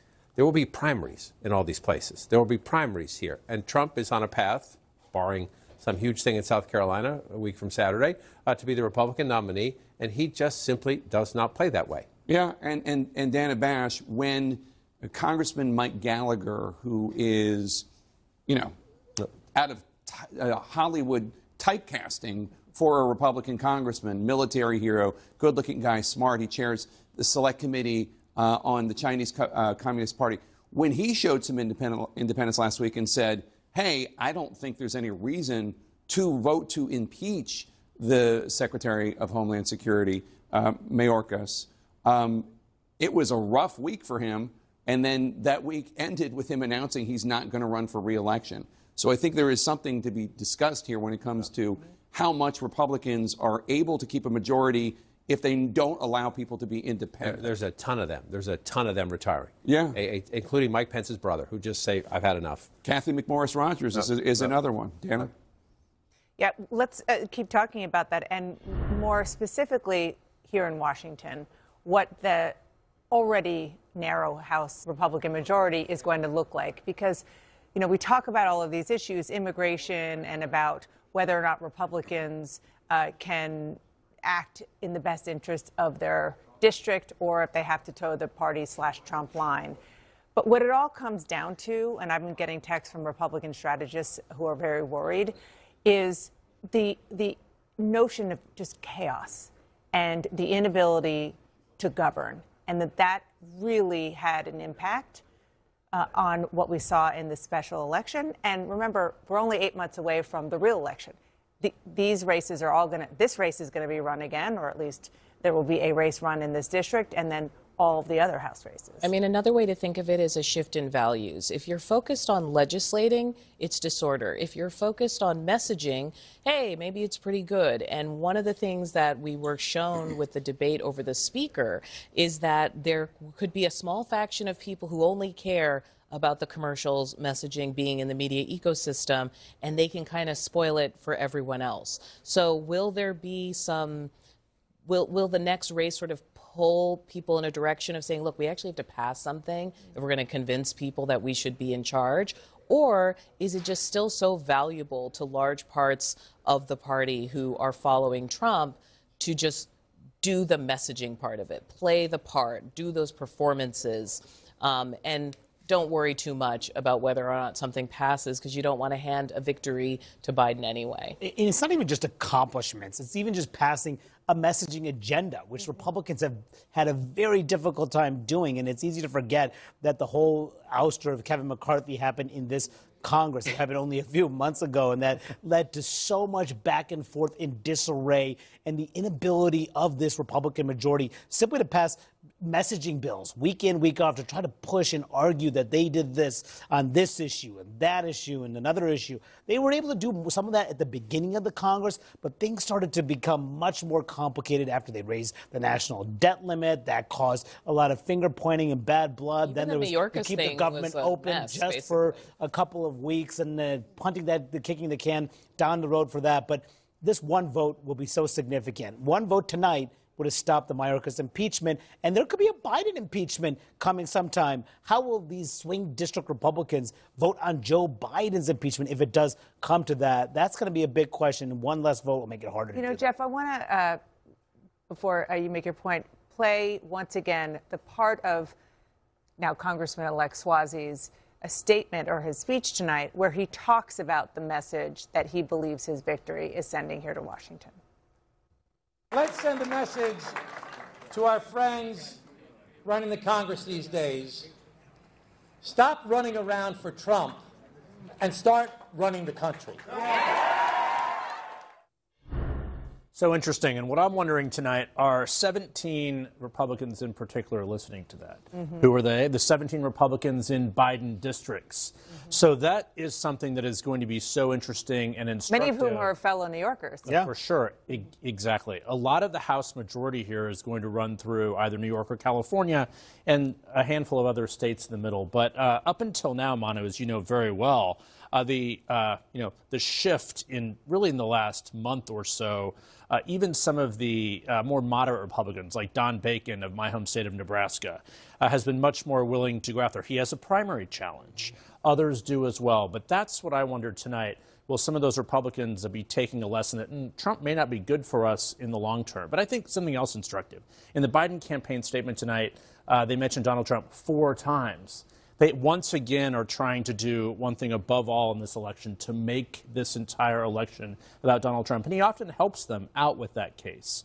But again, as so many people have said uh, this evening, uh, I think there are some lessons tonight, but they're limited as well because the general election is going to be much more fully engaged. But a test run that shows all is not lost for Democrats. And a lot of people in the last week, uh, there's been a lot of bedwetting. We say that a lot. Uh, this has calmed that. Among Democrats? Yeah, I know. Shocker, I know. That's you know, what I but, you know, one uh, thing the Republicans have been good at in this Congress is finger pointing. And I can ex- you, tomorrow morning, Mm-hmm. when the House Republicans go behind closed doors and they have their weekly conference meeting, there is going to be a lot of finger pointing, not just about everything that went wrong or about the candidate or just about expelling George Santos. That was one of the one of the that's one of the reasons why a lot of members were upset about the initial Mayorkas impeachment falling.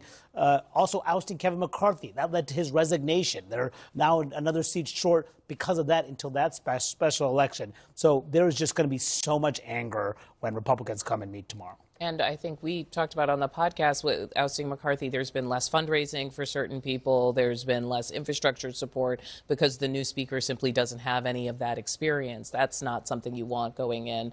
I think to test what you're talking about, Jeff, there, there are some theories that are tested, even if you can't take away full lessons. And one of them is what are the limits of nationalizing a race around issues like immigration and crime, et cetera? Can you kind of trick yourself into thinking, well, this is a slam dunk? Uh, because here we are yet again at another special election race saying it really seemed like that Republican was going to do well, and it's the Democrat who wins. And I think kind of processing that and thinking about what it means going forward is sort of worth it. It's such an important point because in order to, uh, to replicate this in this kind of district, you have to have a Democrat willing to do what Tom Suozzi did, which is stand up at the very first, you know, second of his victory speech saying, I'm not a member of the squad. I'm not a, you know, I'm worried about my party. And, uh, and also, just more importantly, on the issues. But tonight, there, a member of the squad was here, right? Right. AOC herself, and she didn't exactly throw him under the bus for not saying "I'm one of you" or for not, uh, you know, leaning into some of those really progressive positions. So having that flexibility, as you guys talked about earlier, is meaningful. And primary challenges are going to happen, and primaries will happen, and that's a much more uncertain thing. In this case, these candidates were uh, selected by the party bosses, essentially, uh, as it was in the old days. Yeah. Uh, the primaries often um, are out of the party's control. Yeah, I mean, the, the candidates really do matter at the end of the day. Suozzi has that established brand. People knew who he was. Mondaire Jones, for instance, he's running against Mike Lawler in that district that Lawler was on earlier tonight. He's a much different type of Democrat than Tom Suozzi. That's something Lawler would take advantage of. Will that make a difference when the top of the ticket will have such a huge impact? Down ticket, that's another question. Okay, everybody. Up next, how Republicans are reacting to this huge loss to Democrats in New York and what it means for the battles ahead on Capitol Hill and in the November election.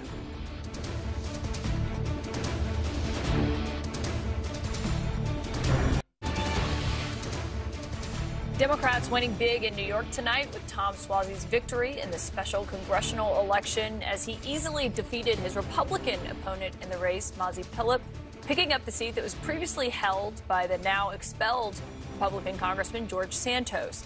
Republicans' very slim majority in the House, now even slimmer tonight. Let's go to Capitol Hill, where CNN's Melanie Zanona is getting reaction to tonight's results. Obviously, Melanie, Speaker Johnson's office was watching this vote very closely. What are you hearing from Republicans overall about that already slim majority shrinking even more. Yeah, well, Caitlin, there is some predictable finger pointing inside the GOP tonight, with some Republicans turning their anger towards fellow Republicans who voted to expel George Santos, as their already razor thin majority is now set to get even slimmer. One Republican lawmaker told me that the GOP lawmakers who led the charge to expel Santos uh, owe Republicans everywhere an apology and $10 million. Another Republican, Troy Nehls, told me a little bit ago we should have never brought the Santos vote to the floor. Mike Collins, a Georgia Republican, wrote on social media, so who still thinks Republicans helping Democrats kick out Santos was a good idea? And Santos himself weighing in, simply writing on social media, minus one. Now, I interviewed Steve Scalise, the House Majority Leader, a little bit earlier tonight, and I asked him, is there going to be any regret inside the GOP if Democrats do end up flipping this seat tonight? He didn't go quite as far. He said it is what it is. And he also downplayed the national significance of a potential Republican loss in New York 3. But no doubt, Caitlin, this is going to have massive implications for the slim majority and the GOP's ability to govern. And so those frustrations and floor fights only likely to grow louder in the coming days. Caitlin. Yeah, an immediate impact. Melanie Zanona, thank you. And we are now hearing from the former president, Donald Trump, about tonight's results and what it means. CNN's Kristen Holmes is in Florida covering the Trump campaign. What are we hearing from Trump, Kristen?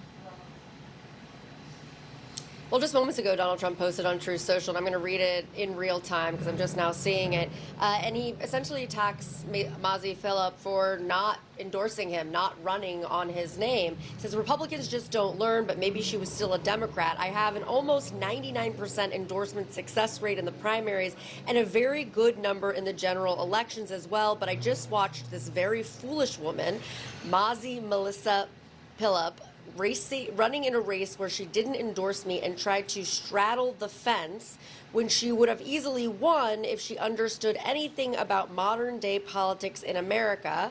MAGA, which is most of the Republican Party, stayed home, and it will always, unless it is treated with the respect that it deserves. I stayed out of the race. I want to be loved, in quotes.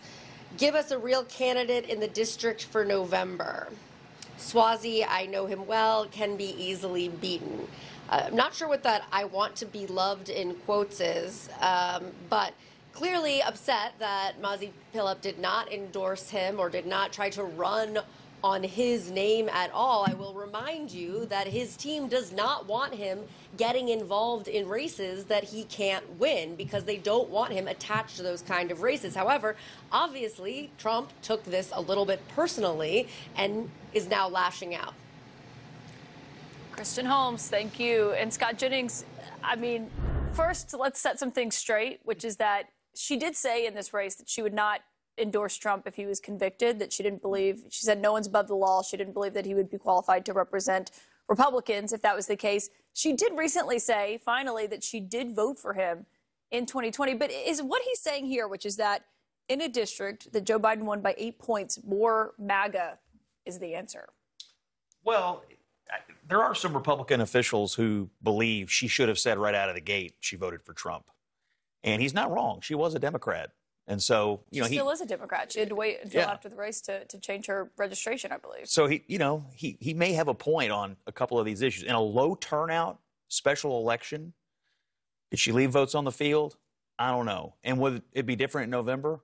Maybe. There are some other people here. I mean, some folks are talking up this uh, this fella uh, Daniel Norber, who you know was also running against Santos before the special election started. So, I, and I don't know which way we're going to head here, but obviously, when you lose a race, people are going to look for reasons why you might have lost, and uh, I'm not surprised to see him picking it out. But there's not eight points more MAGA out there. Not not in this uh, district. Like he's just a crybaby, man. It's just, dude, you are not the answer to everybody's question. It, you're just not, and it's it's just sad to see him. You know, you can just imagine you're just there, just working his little thumbs off, just so, so upset that you know, somebody lost and also didn't kiss his ring. A lot of people who kiss his ring do lose, and that's the problem. We got to figure out what the "I want to be loved" in quotes. I, I'm gonna guess. I'll just take a moment and I try to understand. I feel like it has is something to do with he's he's saying that she didn't endorse him. Yeah. Yeah. And she didn't tie herself enough to him because she wanted to be loved. Is what it. That's my reading of it as someone who covered him. I could be wrong, and I'm not going to read Donald But I Trump's do mind. I do think it gives us a little bit of insight into the political strategy of, of Trump world here for November. The, it, you talk to any Trump advisors, you know, expanding the electorate to bring more new Trump MAGA aligned voters into the electorate, they think is their path to success far more than winning back over the a huge swaths of the middle that they lost uh, to Democrats in 2018 to Joe Biden yeah. in 2020 and I think you sort of see that here too that he thinks the path to political s- success mm-hmm. is just more magnification of the electorate. Look that is exactly right that that is what they think. Leading up to 2020 that was the strategy. It did not work. I, the, the problem with this strategy from the Trump world that comes, uh, frankly, directly from Trump is that it doesn't work. We actually have data points that show in 2018 and 2020 and 2022, ramping up the MAGA backfired on Republicans in some key places where they could have won. In Arizona, for example, if they do it again, good luck. But it's just that the evidence is not there. And Republicans also have like a tactical problem here. The party's health, as from like an apparatus infrastructure standpoint, is has bad signs over the last year. The reasons they are losing these special elections are getting candidates who are untested, unproven, are partly because Donald Trump has made it difficult for people able to come out of those primaries, and, and specifically has placed his thumb on making it harder to have them have those type of messages that allow them to win those voters back. And so, you know, when we think about what's happening at the RNC with the tumult there, and how Trump has made the kind of imprint on the party apparatus, even the ways that they haven't uh, embraced early voting, on something like a snow day that comes back to bite them, right? Like you have Republican Party plowing roads today, you know? Th- those are things that the party could do differently, and there's an open discussion within the party, but because Donald Trump's political imprint is so large, they not only have a messaging problem, a political problem, they have a party apparatus infrastructure problem, partially because it's been so pulled to his, his, his everyday whim you know? I mean, you two know this area better than anyone else at the table. I mean, when you hear him say that the reason the turnout wasn't what it, they expected it to be, he says it's because she wasn't MAGA enough. But, but is it because of Scott's point earlier that they don't, Republicans have not actively embraced early voting? Uh, there's probably a number of reasons why she lost, and as I say, we're going to downgrade him. And for full disclosure, for somebody who was endorsed by Donald Trump, and um, he was gracious when he did it, and I was grateful for that endorsement, and I and I won. Um, I actually sort of understand the dynamic of she, they're going to tar, and they did tar this woman as a right wing radical Republican anyway. So take what you got. And to Scott's point, in a in a low turnout uh, race, you're going to motivate people who otherwise wouldn't come out to vote to come out. And to a member of Congress who spoke earlier in this program, they want to win. So if you want to win and you want to govern and based on your policies, not to say you cross the line on things, but if he can help you win, why wouldn't you want that endorsement? And I've seen this over the years where people say, I don't want that because uh, they're going to label me. They're going to label you anyway. Yeah. Just take it and run with it. Right. I also think that Democrats chose the right candidate. It was someone who was tested, he's known, uh, he's been known in this district for over 30 years. He is someone who has been able to get crossover votes in races where he's needed them. And that was a good choice, you know, and he had the message of unifying people. And I think let's see if that is a message that can go until November. Jake, back to you. All right, thanks so much, Kaitlan. Let's go to CNN's Lauren Fox, who is at uh, the headquarters of Republican Mazi Pilip uh, in East Meadow, New York. Uh, Lauren, Republicans saw this race as a high profile test for their ability to campaign on border security, to keep a seat that had been in Republican hands that did not work out tonight. What are Republicans saying is the reason? Yeah, Republicans really thought that there wasn't going to be a better district to test drive that message on immigration than right here. That is because there's a migrant shelter that was built last summer on the edge of this district. The headlines that you hear here in New York, so pertinent to so many voters in this district who were worried about crime, who are worried about the influx of migrants to the New York area. In fact, I talked to one dad at a diner this morning who said he's scared to take his kids into the city because of what he's seeing on the news. Republicans were really seizing on that, trying to make this issue front and center. But Tom Suozzi kind of flipped the script because he actually showed up at an event that Mazi Pilip did where she was talking about immigration, waited for her to finish, and then had his own press conference, took reporter questions, and argued that he had a solution, and Mazi Pilip was out there just campaigning against the issue. You know, I think Suozzi's message here that he sees a bipartisan path forward, that he would have supported the Senate bill that really only survived about 48 hours in the United States Senate, still gave him an opening to neutralize that issue. And, you know, this issue, if it couldn't play in New York 3, it's really unclear where across the country it's going to be able to play as the predominant issue. I should note, every single voter I talked to said immigration was their top issue. It just turned out that they trusted Democrats more than Republicans, perhaps, to handle it. Yeah, with, with this specific set, uh, set of candidates, right? Because it's Suozzi who's pushing uh, a willingness to compromise with Republicans, even a more moderate message on immigration than you hear uh, from a lot of Democrats. And then uh, Pilip, who is kind of saddled with uh, the inability of Republicans right now to, to govern in any real way. Uh, so anyway, uh, Lauren, thanks so much. Let's talk more about the issue set that, that uh, had an influence on the race uh, with CNN political director David Chalian. David, um, immigration, border security, they did play majorly into tonight's race the way that Lauren said, right? There's no doubt about it. And look at the national landscape of the immigration issue, according to our most recent poll uh, from the end of January. So, uh, President Biden's approval rating, Jake, as you know, on immigration, it's his worst tested issue across every issue. It's at 30% approval, 70% disapproval. We also asked folks, and again, this was a nationwide poll whether or not the U.S. should prioritize deporting all undocumented immigrants versus uh, providing a pathway uh, to citizenship. In 2019, only 15% said the priority should be deporting all undocumented immigrants.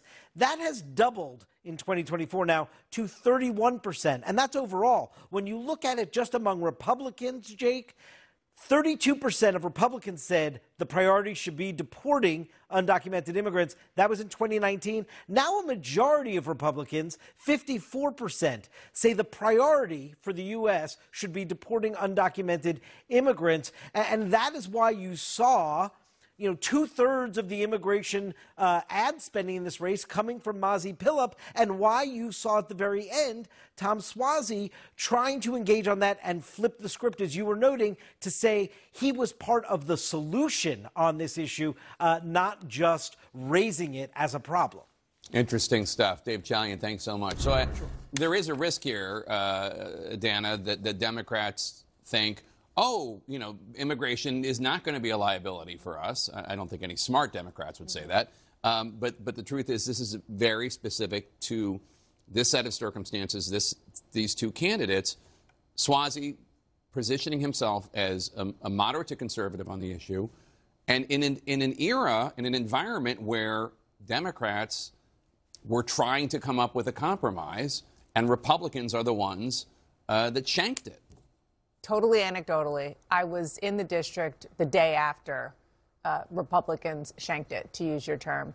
And I heard from voters that they were very, now these are obviously um, very well informed voters, right. but they were, they were at the polling station, they were voting early. And several of them said to me that they don't uh, want to vote for the Republican because it's clearly impossible to get a solution on the issue of immigration. They said border uh, the border problem, the immigration issue, uh, the migrant issue in their district was the top issue for them. And that the fact that Republicans killed that bipartisan deal uh, put them over the edge to vote for Tom Suozzi. And immigration was their top issue. So I think that there's something to that. Uh, but I do want to underscore the main point that you made, which is that if you have a Democrat who just fundamentally doesn't believe in being as tough as Tom Suozzi is on the migrant issue, then it's not going to work politically. Yeah, and I think let's not forget also how the Republicans even handled this bipartisan border deal. I mean, they were quick to dismiss it even before the deal was even reached. I mean, Donald Trump tried to kill this before there was actually anything to look at. And same with the Republican leadership. I mean, Elise Stefanik was out almost immediately saying that this bill, the deal that was reached after nearly five months of negotiations, said that it should be killed. The Speaker of the House a couple of hours after it was released. These are incredibly complex policy issues to immediately dismiss it out of hand perhaps looks to some voters who are following this pretty closely as clearly politically expedient without actually trying to solve a real problem. Look, there have been Oh, I was just going to add that the argument Suozzi made fundamentally, it's like they're the dog that caught the car. It was like, mm-hmm. do this thing and then blow it up. And I think he was able to talk about that in a way that voters could understand. That didn't feel like kind of parliamentary nonsense. It felt like, oh, yeah, that's a good point. It was their idea. Why don't they want it? And maybe that's something other Democrats can take away. I mean, there have been bright warning signs. Audie, as you said earlier, uh, we have so many elections now to look at 2018, 2020, 2022. The suburbs have been bright red warning signs for Republicans uh, in the era of Donald Trump, even before then, in some degree. So, one thing that kind of went a bit under the, the radar um, in some respects was the the message on abortion here, but I think the I was just talking to a Democratic strategist who said this is our playbook right now. It's not going to work everywhere, but they can neutralize the sort of challenge on immigration by going after abortion rights. But the uh, Trump problem, perhaps, is the biggest takeaway from this. I mean, he was focusing on the candidate calling her a foolish person. Never mind any introspection, which of course he doesn't do. Mhm. But there are big warning signs for Republicans in these suburban districts, which uh, the party needs. I do think, though, we should note that I could see this issue, immigration, and the refusal of Republicans to compromise being used to an advantage by a Democrat like, say, for instance, uh, Bob Casey in Pennsylvania, more center left. I, I don't know that Joe Biden, who you saw has a disastrous approval rating on this issue, only 30% approval, 70% disapproval, specifically on the border and immigration. I don't know that President Biden himself is going to be able to pivot on this, even though he's obviously trying. You heard the statement, the statement that MJ Lee read from the White House, where they're trying to talk about how the Republicans are refusing to embrace border security and immigration reform. That would be a neat trick if he could turn it around, but I don't know. While I do think that it's possible that re- Democrats running for reelection this year in the House and Senate will be able to maybe make that argument, I don't know that somebody that people blame the border problem for will be able to do that. I don't know what you think, Audie. I mean, I, mean, I, I want to add a point, a, kind of a footnote, which is that as soon as Suozzi opened his mouth, there was a protester who was there to con- to criticize this administration's handling of the war in Gaza and specifically the numbers of deaths of civilians and Palestinians. This is going to be a problem if every time there's a Democratic victory, there's that moment where the cameras have to be like, wait, who is that? What are they saying? Well, guess what they're saying? They're using the phrase genocide Joe. Uh, This is one of those things where I think the administration hasn't quite found a way to talk about it, um, but I don't think it's going away. And I just wanted to raise that, even though in this race it didn't put the candidate over, Pilip didn't somehow, you know, win the whole thing because of that. But it's just a thing that it's like it's going to go from being a footnote in every article to being the issue. And it will play out in Michigan. The next primary on the calendar after South Carolina is the Michigan primary on February 27th, uh, Republican and Democratic. It's already a huge concern for the White House, for the Biden campaign. Uh, what's going to happen right after that? He'll be giving his State of the Union address on March 7th. Uh, the White House is already worried about a protest there, but uh, at least he'll have one more uh, Democratic member um, in front of him in the House, but uh, it's still an issue. Coming up next, the big takeaways from this special election and what the results tell us about the year ahead with the White House and control of Congress on the line. We'll be right back after this.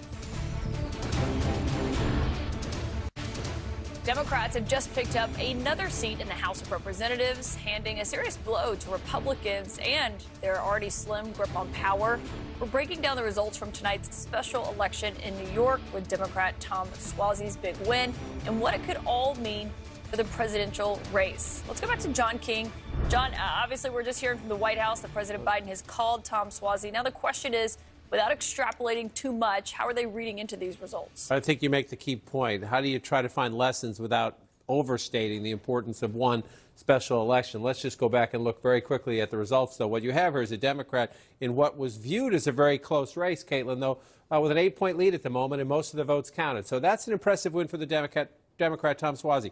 The conversation now in both Democratic and Republican campaigns, including the Trump and the Biden campaign, is was it just about him? Or was there something in the message? Was there a key ad that swung the race? What was it? That's what they're going to try to figure out. And why? We don't expect New York, of course, to be competitive in the presidential election. But if you want to beam out, uh, number one, uh, if you're the Biden campaign uh, and you're the Democratic Party, uh, you want to win congressional elections, right? So you want to get the House back. Uh, there were 18 districts that Biden won that were held by Republicans. Now there will be 17 once Tom Suozzi is sworn in. So the first thing you look at is can we get these House districts back? Right? Is there something that happened here? The makeup of the district, the fact that Donald Trump is back in the news. Some Democrats think that, Kaitlan, tonight. Uh, that Donald Trump is back in the news of late, and maybe that's helping them there. So that's the House. So now let's come to the presidential race and look at 2020. And you think, did what happened in Queens and Nassau County, does it have anything to do with this? If we get, as we expect, the Joe Biden Donald Trump rematch. Here's one way to look at it, if you want to look at it this way. These races, as you know very well, Kaitlan, the close battleground states are decided where? In the suburbs. Where is Tom Suozzi's district? In the suburbs. And so you can look here, uh, you can look at the Pennsylvania suburbs, for example, a very close state. Just tonight, this is Bucks County, this is the 2020 presidential election, but just tonight, the Democrats also won a special election here for a state legislative seat that was hotly contested. So the Biden campaign celebrating that, saying, look, yes, president's approval ratings are down. His views, as David Chalian just said, his numbers on immigration are terrible. His numbers on the economy are not great. But what the Democrats are arguing is when we have elections, when we actually have people vote, uh, we're doing okay, especially in the places that matter. So what they will do is they will look at this map and they will say, is what happened in Nassau County tonight, is there anything we can at least study? Now that we're in, you know, early in the year, as we get later in the year, uh, Arizona, Michigan, Wisconsin, Georgia, the key battleground states, Kaitlan, are won or lost in the suburbs. So tonight's win for the Democrats in the suburbs, it's going to, trust me, it's going to be the onion peeled by both the Trump and the Biden campaigns. Absolutely. John King, thank you. And Van Jones, as you look at this, and the White House is looking at this, I mean, it's a bit reassuring. Sure. It, or it is reassuring to them that a Democrat can win in the suburbs. Mm-hmm. Uh, but let me ask you the same question in the sense of, you know, not taking too much from one single special Mm-hmm. election. What does the White House take from tonight? Well, look, I mean, it shows that Democrats can be uh, tough on the border credibly, and you can't, you can't, you don't have to just leave that for the Republicans to beat the crap out of us on that, especially since Republicans now refuse to do anything about it. So that's a good thing. But we still have the same problems uh, this week we had last week, which is that um, Biden still has not been able to deal with the age issue appropriately yet. And I've been thinking about it a lot. I think he just needs to own into it, uh, own it, and lean into it. Uh, Ronald Reagan, uh, he made it a part of his shtick. He would say stuff like, you know, Thomas Jefferson said so and so, and when I was there, and then let the crowd laugh, and then he would move on. I think there, I think, I think there, I think Joe Biden should say, "I'm for grandpa economics." I think he should just own it and say, you know what, you know what your grandpa wants? He wants you to get a good job.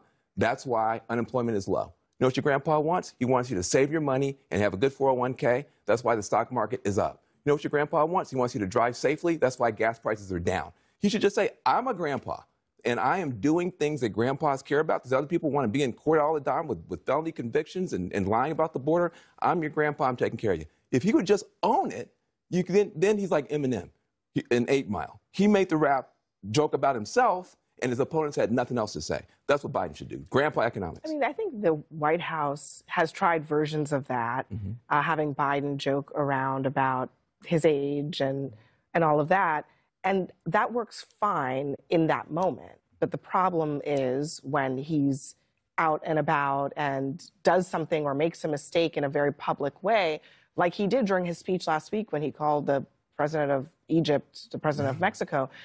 Things like that undermine the case that it, that it's innocuous. And this is the challenge. I mean, look, th- this is the challenge. The White House is very clear eyed about it. What they're really hoping is that what happened tonight uh, is essentially what happens in November, which is that voters go into the voting booth and they say, not thrilled about X, Y, and Z, but here are my choices this guy or that guy. and they choose the person who is the least objectionable Sure. to them. And The- that the- is the- what elections are all about. But you can have the demented grandpa and the good grandpa. Well, Astead Herndon, right? And uh, that's and you just, that's you just you, you neutralize the issue by saying you got a demented grandpa. I'm, just, I'm saying the grandpa economics thing could work. Well, I think. Take it to the bank. The White House did take that one.